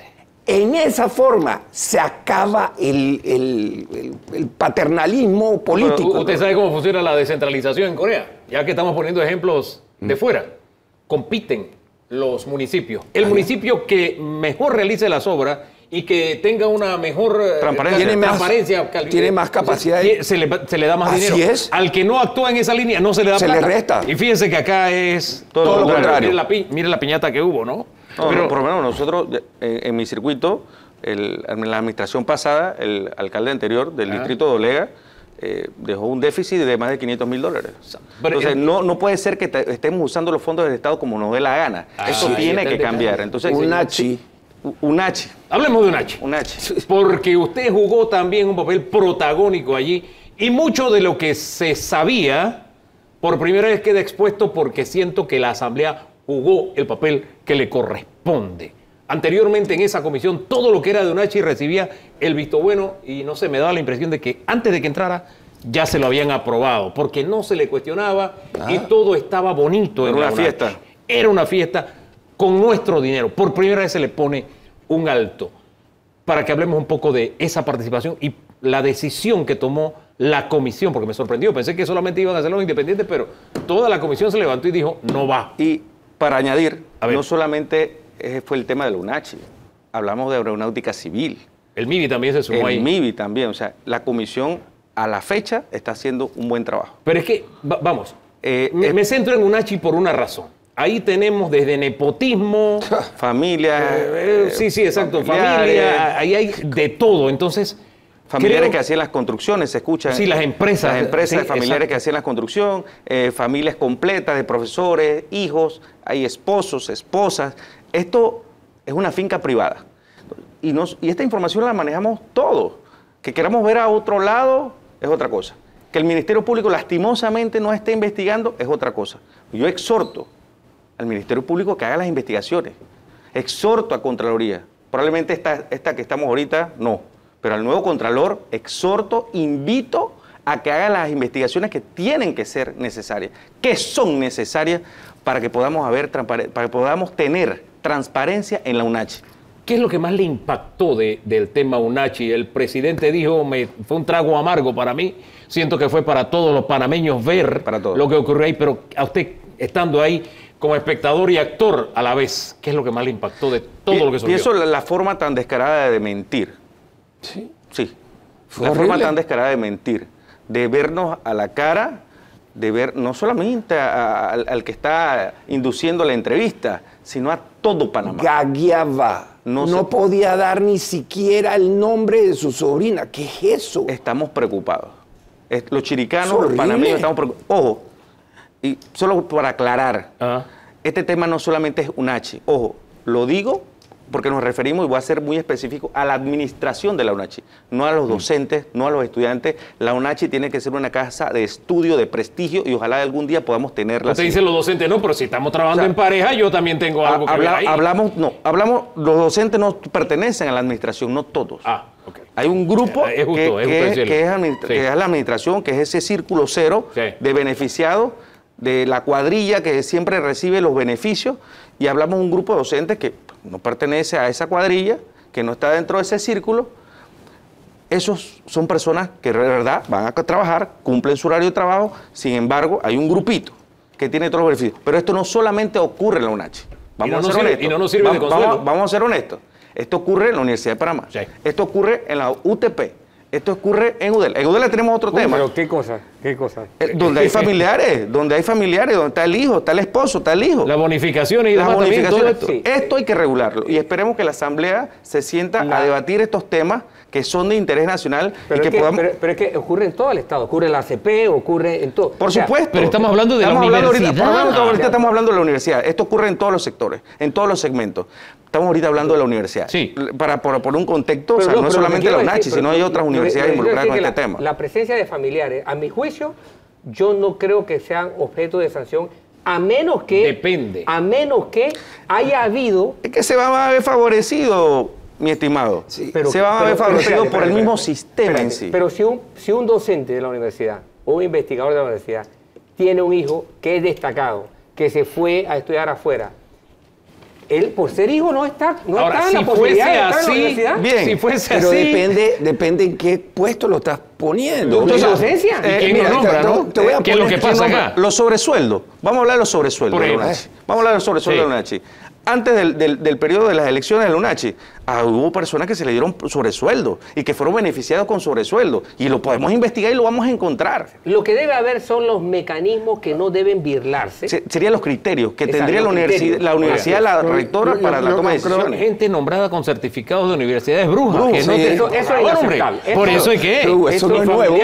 Eso, Eso- no es nuevo. Aquí tuvimos pero médicos que no eran Pero graduados. sirve de consuelo. Sí, No, señor no, Cedeño. Lo, lo- lo que está diciendo eh, Danilo es, es importante porque yo me acuerdo cuando yo llegué a la Contraloría, yo no era esposa de mi esposa. Yo me enamoré de mi esposa en la Contraloría y fuimos marido y mujer casados. O sea, tú- tú te, eh, te lo digo. Pero No, son no, casos aparte. Sí, No, exacto. son No, casos pero pero- por eso. pero somos Pero es familia. diferente. Ah, no, claro. Digo, es diferente. no, por eso que cada espacio, es que me acordé de la familia, yo llegué, entonces yo empecé a, a Sí. enamorar a mi esposa y nos casamos. Ajá. Entonces fuimos, no digo, ahora se van uno, se va a institución porque llegué yo. No, no, no, claro que no. no, no. Cada caso Eh, eh, es sí, pero, particular. eh, pero siempre ¿sabes el mérito debe prevalecer. El Pero siendo debe esposo, siendo esposo y esposa, trabajando en, en el mismo... direcciones diferentes. Ah, Yo- yo le voy a poner un eso, ejemplo, no don la Cedeño. puedes tener en la En misma dirección. Claro, yo le voy, conflicto de yo le voy a poner un ejemplo.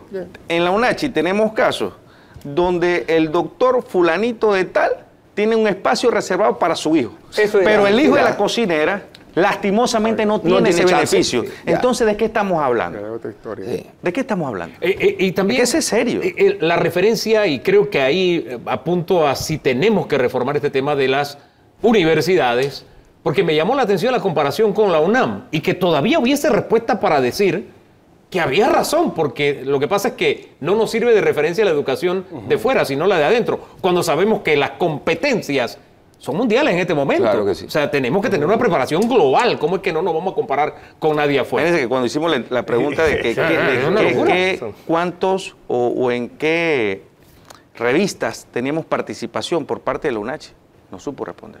Ajá. Y en- nuestro ranking está muy lejos de ser el de la UNAM. Muy lejos. De, ahí, de ahí que prevalece, y, lo dijo el señor presidente, que ya se releía, se releía, hay un, un anteproyecto que se presentó que se prohíbe la reelección inmediata de las universidades oficiales y es importante, lo que hemos visto en UNACHI, que están hablando ustedes, que vale la pena el señor presidente que vea la posibilidad de que se establezca un proyecto de ley general de sueldo, porque ya tiene un sueldo, pero... Bárbaro. un- Sí. de- Pero- a pero otro fíjense, nivel, pero- a otro Pero, nivel. pero ese tema de los sueldos, incluso yo no lo demonizo porque imagínense, si tuviéramos una universidad autónoma de Chiriquí que estuviera entre... En otro ponerle- nivel, rankeada y Vamos a decir aquello. que está entre las 100 primeras de Latinoamérica. Vamos a suponer que tuviera... Hombre, yo no creo que merecería los 13 mil que se gana. Sí, yo pero creo hay que otras merece- universidades no, merecería hasta 50 O sea, mil. pero tú debes- Tiene- tenemos que encontrar sí, algún nivel de remuneración de acuerdo a... A la competencia, A, la a los resultados A los resultados. Yo, yo creo Sí, que tenemos pero que aquí, allá. aquí estamos viendo algo. Sí. La calidad que estamos recibiendo no, No es la mejor. justifica los salarios. No, y favor. también esas reelecciones que se han dado en estos individuos tiene, en mi opinión, una urgencia notoria de fiscalización retroactiva, porque se tiene que velar y justificar cómo se han desaparecido En esos todas fondos. las universidades. En todas las Claro. universidades. En todas las universidades. Claro. ahí tenemos que. Hay que por, eso siento que se, por eso siento que se necesita una nueva ley. Porque incluso los que han llegado montados en este se reelige, se ha reelegido, corrupción, llega para reelegirse también. No, Entonces, pero es que hay mucha actitud de tápate los ojos, tápate los oídos, bueno, ya pasó, ya eso olvídalo. Si hacemos eso, Si usted- estamos es que- es que vamos a creando otro un mal tema. Precedente. El tema no es la reelección en sí, es la ejecución que tiene. Porque si usted se reelige en un periodo, digamos por un periodo adicional, y usted se No, yo- y yo- hace una muy buena labor, que se note, que sea transparente, pienso que no, ¿por qué privárselo? Miren, en la, Pero si es una, una ejecución que no es muy transparente, Muy- que está oscura, que no está bien vista, ya es otro Bueno, tema. yo discrepo por la teoría de Jonathan, definitivamente aquí en las universidades oficiales. Si tú impides, y por eso que presenté ante el proyecto de ley que prohíbe la reelección inmediata en la universidad de- eh, eh, eh, eh, oficial Del de Estado. pecado del rector, porque tú llegas pensando en la reelección, tú te olvidas de lo que es la innovación, porque tú estás pensando en clientelismo y le vas a De hecho, hubo obstaculizar. clientelismo, demasiado Y le vas a obstaculizar el paso al contrapeso que te va a llegar.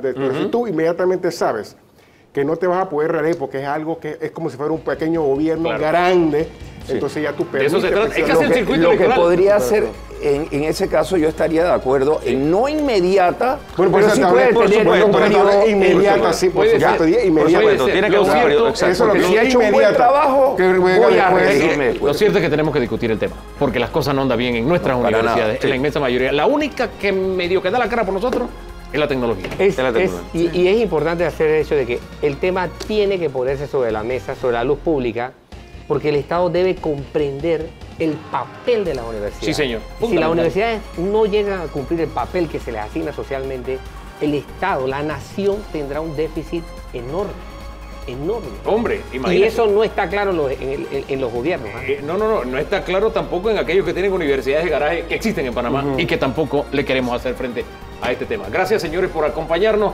Vamos a dar un giro total. Vienen nuevos protagonistas para el siguiente segmento porque lo que descubrió Roxana Méndez en descentralización tenemos que prestarle mucha atención y vamos a hablarlo con un alcalde y con dos representantes que, que recibieron y que han hecho con, esta, con lo que recibieron.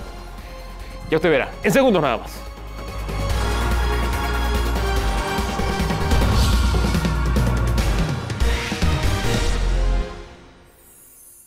La descentralización paralela que tanto nos negara el gobierno anterior que existía se encontró bajo un número, un nombre muy sui generis, ¿verdad?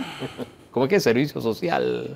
De asistencia Eh, social. De, de- de interés. De interés social. Subprograma, ve que me gustó el nombre. eh, subprograma. Subprograma de interés social. Por lo menos hasta interés llegó. Más de, sí, más de 300 millones de dólares de la descentralización.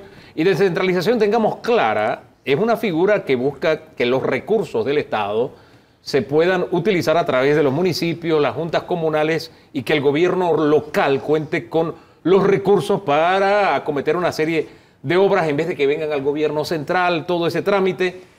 Pero ya usted ve lo que ha ocurrido. Tenemos el ejemplo de tres eh, diferentes lugares. Venimos desde Arraiján, una junta comunal, la de Burunga, Loanis Gaitán nos acompaña, bienvenida. Gracias. Nos acompaña un representante de otra junta local, pero en el corazón de Panamá. Se trata de Parque Lefebre, Rodi- Rodríguez Olmos nos acompaña, bienvenido. Y nos vamos hacia el este, nos vamos hasta Chepo y nos acompaña un municipio, en este caso Juan Jaramillo, señor alcalde, bienvenido. Muchas gracias. Bien, primero, cuando se recibió esta información y conocimos un poco el hoyo negro que hubo ahí, que puede ser más grande, porque si comenzó con 100 Sí. y va por 300 y Puede- tanto, puede yo no ser, sé, podría la lógica serlo. me dice que puede ser más Podría grande. hacerlo. ¿Cómo, lo, ¿Cómo recibieron ustedes esta noticia? Antes de hablar de, de cómo recibieron ustedes de las juntas comunales, pero hablar de este hoyo negro así de más de 300 millones de dólares, ¿cómo lo recibieron ustedes? Es lamentable que en un país con tantas necesidades, con tantos problemas estructurales y sociales, tengamos destinado a las juntas comunales y a las alcaldías tanto dinero.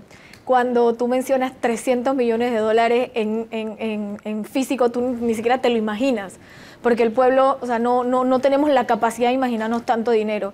Es muy lamentable, pero a mí me parece que existe alguna complicidad de ambas partes, eh, tanto de las autoridades locales en ese momento como de las autoridades gubernamentales.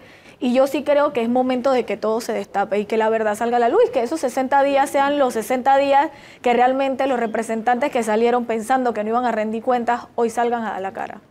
Oiga, quiero entender que usted lamenta que tanto dinero sea para una descentralización paralela y que no sepamos de qué se usa, porque ustedes de que necesitan plata, necesitan plata. No, sí, definitivamente, No, no, sí. Exacto, y no, para no demonizar la descentralización, que es buena y que creo que se debe corregir. Pero ¿cómo lo toma Rodi Rodríguez? Así es, acá todo parte de la transparencia, porque si hay 300 millones, tenemos que saber si se repartieron de manera equitativa por todos los corregimientos, 701 juntas comunales o gobiernos locales, más las alcaldías, más 80. Tenemos que tener la capacidad de resolver inmediatamente a nuestros ciudadanos. Todos se acercan siempre a la autoridad más cercana, que es el representante, y luego a las alcaldías. Entonces, trabajar de la mano con fondos destinados para salud, educación, transporte, puede resolver muchas cosas. La descentralización es buena, el tema es que se use en los conceptos que se debe y que las personas estén seguras de que ese dinero de sus impuestos está llegando a las obras en la comunidad. Eso es lo importante en Chepo. ¿Cómo lo tomó Chepo? Bueno, definitivamente que nuestro municipio ha sido uno de los más golpeados en este tema. Y como decía Hugo, este, este principio esencial de descentralización fue con un fin precisamente de acorparnos, apoyar a estas juntas comunales. Sin embargo, el mal uso y mal, malversación que ejercieron las figuras que estuvieron al mando en el quinquenio pasado nos han dejado bastante bastante flácido en el tema de liquidez, pero sin embargo sí este método de descentralización es- debe ser efectivo, sin embargo no es el uso que se le dio el indicado. De parte de nosotros como municipio hemos encontrado una serie de malversaciones en estos fondos y no se hizo con la finalidad del el- la razón esencial del por qué se dan estos fondos hacia municipio. Vamos a hablar de esas malversaciones porque también tuvo que ver el, des- el desembolso primero con la elección interna del PRD, no olvidemos, ubiquémonos en el tiempo, y después con la elección general. ¿Qué se encontró usted ya que usted habló de malversaciones? Mira, nosotros en el municipio de Chepos una vez tomamos posesión el primero de julio, el 2 realmente, iniciamos precisamente a buscar esos fondos toda vez que nuestras cuentas, Hugo, inclusive aún cuando el municipio de Chepo mantiene tres cuentas, una que era para gestión, otra que era para planificación y demás, en el entorno gubernamental nos topamos de que estas cuentas fueron prácticamente vaciadas. Eh, un total prácticamente de 3 mil y algo de fondos en cuentas que manejaron millones de dólares, situación que nos obligó precisamente a realizar una auditoría, percatándonos que a través de una descentralización paralela, que se, se adjudicó a la descentralización normal, se había adjudicado, Hugo, eh, un total, eh, un aproximado de 200, 2 millones 500 mil dólares. 2 millones y medio. Los cuales, como tú acabas de mencionar, se realizan precisamente en etapa de periodo electoral de las primarias PRD, que se sobreentendió que eran para paliativos por el mal uso que se encontraba en nuestra carretera Cañita hacia Tortí. Sin embargo, nos sorprendió que en la auditoría se hablaba de que habían compañías y que todas tienen un fin social, una administración o una junta directiva con sus dignatarios bastante enlazados unos con otros, de que estas compañías que supuestamente hacían los cobros, dígase por paliativos, vimos una que no entendimos, una carretera que está totalmente destrozada y que es una panamericana de uso común de nuestros Ajá. agricultores, de nuestros empresarios, y que se gastaran prácticamente 244 mil dólares en sobrevuelos de drones. Yo no entendí para qué tú, en un tema de carretera, tú te gastaste 244 mil dólares en sobrevuelos de drones. Si esa carretera es una panamericana que viene con- fue construida de cuando Torrijos. O sea, en carro. La, la cartografía ya debería existir. entonces, sí. nos sorprendió eso. También nos sorprendió de que una compañía, que también está enlazada con otra compañía que tienen casi los mismos dignatarios, Sí. Hugo, esta compañía se dedicaba a hacer plataformas eh, de, de lo que era eh, software y demás, y también estaba metida en el tema de paliativos de esa De- de la carretera. carretera. De la carretera. Entonces no entendíamos de dónde salió un tema de una construcción de una vía panamericana No sé, se me ocurre que digital. tendría impresoras 3D y entonces iba a imprimir carpeta asfáltica para ponértela a la carretera. Y te de digo- pronto, no sé. Y te digo algo, lo sorprendente en todo esto, Hugo, es que Ajá. se utilizó supuestamente, que estoy totalmente molesto con esto, y se lo he manifestado en una carta que le mandé al ministro de- del MOC, porque usaron el Ministerio de Obras Públicas, Hugo, como supuestamente como fiscalizador. Para sorpresa nuestra nos percatamos, Hugo, de que este paliativo lo hizo una empresa privada, sin embargo estaba usando combustible de- de- del municipio de Chepo, estaban usando el personal de, nuestro, de nuestra entidad y estaban usando el equipo de nuestra, de nuestra entidad. Entonces, como si era una empresa privada que se ganó esa licitación para hacer estos paliativos, estaba usando los usos del Estado para esto. y este espacio lo estamos utilizando para que de antemano ya la autoridad tenga un insumo, porque la, la- la autoridad pidió 60 días para que él presente un informe. Si el lo que ellos presentan en el, el informe coincide con lo que está diciendo el alcalde, porque el papel aguanta lo que sea. Lo que sea, exacto. ¿Ah? Ahí está el detalle. Esto en cuanto a descentralización paralela en el municipio de Chepo. Hablemos de Burú. Bueno, Bu- a mí me parece eh, totalmente lamentable. Burunga fue un corregimiento que recibió bastantes recursos en descentralización normal, la descentralización que es de todas las juntas comunales que recibe 110 mil dólares. En cinco años, Burunga recibió medio millón de dólares. No hay una sola, una sola eh, obra hecha por medio de descentralización. Y nosotros no recibimos libros, nosotros no recibimos informes, nosotros no recibimos absolutamente nada. Nosotros nos entregaron un papel que lo conversábamos hace un rato y nos dijeron, esto es lo que hay. Fue Contraloría y dijo, papá, y puso gancho y dijo, ah, perfecto. Pero no solamente me parece lamentable eso, Hugo y televidentes y acá, señor Danilo, a mí lo que me parece aún más lamentable, que la persona que anteriormente ocupó el cargo de representante en el corregimiento de Burunga, y con las declaraciones ayer del presidente que a mí me parecen muy buenas y excelentes, es una persona que hoy forma parte del gobierno del señor ¿Cómo? Molino. Entonces, explíquenme cómo son las cosas, porque realmente a mí me gustaría entender en el, en el, en el sector del oeste, es que si tú no investigas a las personas que van a trabajar contigo, ¿cómo es que tú dices que tienen que ser investigados por el órgano judicial? Aquí hay una prueba de fuego, entonces, en este caso, porque sigue en gobierno y según usted, no hay una sola obra de descentralización. De descentralización. Y se recibió dinero de No, y no es solo eso, sino que hay una denuncia que ha sido interpuesta por malversación y la retención de la cuota obrero patronal.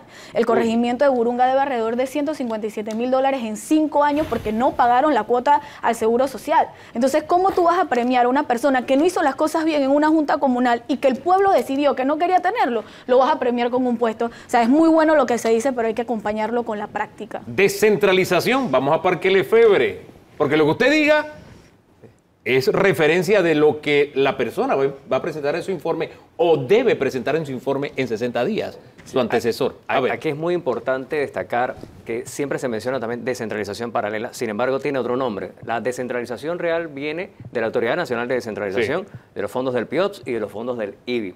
En nuestro caso, al llegar al gobierno local de Parque Lefebre, no encontramos sistema contable, no encontramos un informe detallado de todos los temas. Las computadoras estaban borradas, como muchas también otras juntas comunales. Y esto nos llama la atención porque ahora cuando le van a pedir la información de, en 60 días que tiene que presentar, ¿de dónde la va a sacar? Si nosotros tampoco la tenemos. En ese sentido, la comunidad tiene que estar clara cómo se usaron los fondos. Lo poco que hemos podido investigar, en que ya también presentamos una solicitud de investigación al Ah. Ministerio Público, por ejemplo, en el mes de marzo, eh, enero, febrero, marzo, entre esos meses se estaban repartiendo cerca de 80 mil dólares en donaciones, pero eran meses previos a la campaña. Entonces, no sabemos exactamente a quiénes llegaron esas donaciones y más del 20% se destinaba a donaciones en efectivo. Entonces, tampoco hay un control, una tabla de a qué ciudadano recibió cada cosa. O sea, son muchos fondos que manejaron en tantos años y al llegar al final de su periodo lo usan previo a la campaña electoral. Por eso le digo que es un hoyo negro, don Danilo, porque acá borraron las computadoras y no hay documentos. Bueno, en la, o- en la- también allá en la autoridad de descentralización borraron los documentos. Entonces, ¿cómo vamos a saber? Bueno, eso es un delito. Ya, exacto, eso es lo que le iba a decir. Ya eso es un delito. O sea, porque la información no le pertenece al funcionario, le pertenece al Estado, le pertenece al gobierno local. Y ya el solo hecho de que le dejen una computadora que no funciona o una computadora que no tiene ninguna información, ya es eh, indicador de que tiene que darse una investigación por parte de autoridades competentes. Ahora bien, a propósito de autoridades competentes, todo lo que ustedes han dicho aquí, ¿lo han configurado en denuncias? Eh, Hugo, eh, nosotros eh, hemos presentado ya cuatro denuncias. Lo sorprendente, ahora que toca el tema, nuestro compañero de acá de Parque Lefebre, en Chepo también tuvimos esa misma particularidad. Esto parecer fue como una tendencia del partido, del- de este partido que nos gobernó en el quinquenio pasado. Pues en Chepo también se, se nos, se nos cuartó de todo lo que fue la información. No se encontró nada en computadora. Lo más triste en todo esto Hugo, es que este mismo personal que se encargaba de lo que era informática y administración del municipio de Chepo, ahora fueron contratados, los vimos muy sentados con el alcalde de Colón, que también en su momento hablaremos con él, porque hemos llamado en más de una ocasión a esta, a esta señora que era la que se encargaba de lo que era el sistema informático y nos dice que esa información era una información de ella. Ajá, sí, Que eso no dicen, era eso muy- dicen. ¿En serio? Sí, Así sí, me eso- contestó. eso dicen. Así me contestó, que era una información de ella y que la tenía en su computadora. Y ahora está en Colón. Está trabajando eh, con el alcalde, nuestro amigo Galván. ¿Con Galván? Que estamos tratando de ver cómo se comunicamos con él, porque esa información es una información que nos ayudaría mucho a descifrar precisamente este paradigma de qué fue lo que fueron. en Así que ustedes tres denuncias En- han en- en presentado, nuestro- ustedes- cuatro, cuatro denuncias. En nuestro ¿Ustedes? caso, la primera denuncia que vamos a presentar no va a ser una denuncia, va a ser una demanda por la retención de la cuota obrero patronal y aparte vamos a presentar una denuncia ante el Ministerio Público y la Fiscalía Anticorrupción por no entregar libros, no entregar informe y nosotros curarnos en salud también. Y este es un mensaje a todos los que encontraron también sus juntas comunales. Hay que presentar las denuncias. Si se ha callado, presenten sus denuncias y hacerlo Bueno, bien. el presidente se lo digo a sus ministros. Ajá. Sí, sí, sí, sí. ¿Y ustedes? Totalmente. ¿Y usted? Sí, el día martes estuvimos presentando la solicitud de investigación al Ministerio Público, precisamente por lo que menciona el compañero de Chepo. Es la misma particularidad. Se borró información de las computadoras. Por ejemplo, llegan personas a pedir su, eh, SEACAP, sus eh, informaciones pasadas. Dice, yo era colaborador de aquí, necesito esta información. No la tenemos y no es del funcionario. Lo que se hace en estos puestos, en estos cargos públicos, es de la comunidad, es de todos. Todo lo que se hace con fondos públicos debe ser público. Entonces, estamos en la particularidad que por muchos años se manejaron esto como fincas privadas y no debe ser así. Nosotros debemos, y para muestra en Parque Lefebvre lo que hicimos es que como no recibimos ni siquiera las redes sociales que manejaba la anterior administración, Sí, así fue, la cerraron justo antes de salir. Nosotros lo que hicimos es que levantamos con eh, la AIG la primera página oficial, parquelefebre.gov.pa y, y las redes parque.lefebre que le dije a, a toda la comunidad, esto es de ustedes, así yo salga del cargo, esto es de la comunidad, todo lo que se maneje ahí, la información de eh, artistas, empresarios, todo lo que le hemos pedido que se registren, va a quedar allí para la comunidad como un censo también. Don Danilo. No, yo lo que estoy viendo es un modo operandi. Primero es un modo operandi. Segundo, esto va a hacerle la curva de arranque de ustedes muy estirada, muy El- lenta. Ha sido demasiado difícil. Exacto, muy difícil, muy lenta. Así que es importante que, sus, que quienes le votaron sepan que ustedes están arrancando de menos, de- por debajo de cero, Así de la es. escala de menos. Tercero, la- la- la- lo que me preocupa es el hecho de que estamos hablando de 700 juntas comunales. El Ministerio Público no tiene la capacidad de poder responder esta demanda de, eh, de- de- operadores de justicia. No la tiene. Por lo tanto, el Ministerio Público tiene hoy que responder cómo va a enfrentar la demanda de servicios del Ministerio Público y que luego va a pasar al órgano judicial. Tomando Porque como referencia que lo que no pasó, tomando como referencia que lo que pasó en las anteriores juntas comunales, en las anteriores administraciones. Así es. No, o sea, yo, yo veo esto como un saludo a la bandera. Entonces. Tan sí, pesimista, ¿no? Totalmente. Es que los antecedentes te lo dicen. Entonces, si no hay un planteamiento mucho más contundente de parte del Ejecutivo y de parte de los gobiernos locales, Ministerio Público no va a poder hacer no- y no va a hacer nada. Porque hay, hay- hay- hay denuncias- No, no, no tanto, pero hay denuncias que proceden de oficio en el Ministerio Público y es como usted dice, no van a tener el personal. No lo tienen. Y las juntas comunales, tanto la alcaldía, no tenemos el tiempo para recoger toda la información, tampoco tenemos el dinero para pagar una empresa auditora para que lleve la investigación. Entonces, ¿quién va a investigar? ¿Quién va a hacerlo? ¿Quién va a hacerlo? ¿Quién lo va a hacer? Lo, lo que, lo que yo sí quisiera decir, Hugo, es que no hay que satanizar la descentralización. Eso es importante. En corregimientos Sí, como buenas. sí se necesita el presupuesto para funcionar. Al sol de hoy hablaba con el compañero acá, nosotros no tenemos firma, nosotros no hemos cobrado, no tenemos. ¿Todavía no tiene firma? no tenemos firma.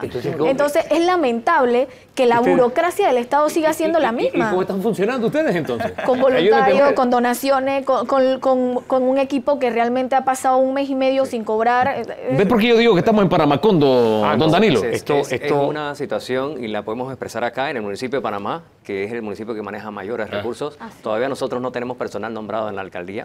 Ya desvinculamos a lo de la administración pasada y no ha entrado el nuestro. Eh, yo en lo personal iba a recibir mi primer pago la semana pasada, pues por un error de número en la, en la cédula, lo voy a recibir la próxima.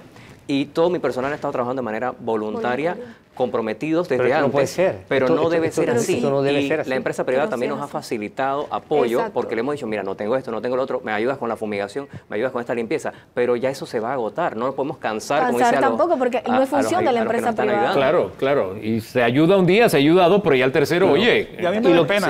Sí, da pena. Y a mí me da pena. Yo he hecho como cinco obras comunitarias, Hugo, y he tenido que hacerlas a través de poniéndome con los donadores, porque... Y eso privado, abre porque también no otro tengo. compás de que las empresas privadas siempre tuvieron a la disposición No de tengo. apoyar, sino que teníamos autoridades que nunca se acercaron. Se acercaron. Te quiero decir algo, Sí. Hugo. Me lo dice en el siguiente segmento, ¿le parece? Abriendo. bien. Porque tenemos que seguir abordando este tema. Usted dice no, no. Ah, no, ya se acabó. No. Sí, en serio. Mire, se fue el programa hablando de todos estos temas y ni me di cuenta. Bueno, tenemos en Su ciernes, reflexión. tenemos en ciernes Sí. el inicio de una crisis. Wow, de verdad que sí. Oye, gracias por habernos acompañado. A que la ustedes. noche. Se parece redundante, pero es el principio del principio. El principio del principio nuevamente. Nueva- toca- peor. nos toca confiar en que se va a nuevamente. hacer. Nuevamente. Así Las es. ganas están, ¿Sabe las qué? ganas están. Exacto, de hacer las las cosas, porque ya estamos aquí. Hagamos una cosa, porque usted habló de no de- demonizar la descentralización y creo que eso es importante. Estamos una- ante una descentralización que se ha manejado con consultas ciudadanas express que llevaban a la gente o se hacían horas en que los ciudadanos no podían ir o donde se le presentaban las obras a los ciudadanos y los ciudadanos no podían presentar sus obras una breve reflexión de cada uno, porque yo, yo de verdad abrigo la esperanza de que esto no quede como una mera anécdota. Comencemos con usted, la dama. La descentralización no es mala. Los malos han sido las ex autoridades que no han sabido manejar un recurso tan importante. Y por lo menos en mi corregimiento sí se necesita el dinero para funcionar y para hacer obras. Es. Un llamado importante a lo que acaba de decir Hugo. En Parque Lefebvre no tuvimos juntas de desarrollo local los pasados años y desde ahora vamos a convocar para que la comunidad se organice, presente sus proyectos y usemos los fondos de la descentralización de la manera correcta. Señor Jaramillo. Bueno, nosotros sí queremos pedirle muy formalmente a nuestro querido presidente José Raúl Mulino y también a nuestra directora de descentralización Roxana Méndez que por favor no vean esto como algo negativo, pues lo que estamos tratando de hacer es demostrarle a nuestras comunidades de dónde o cómo se movieron estos fondos.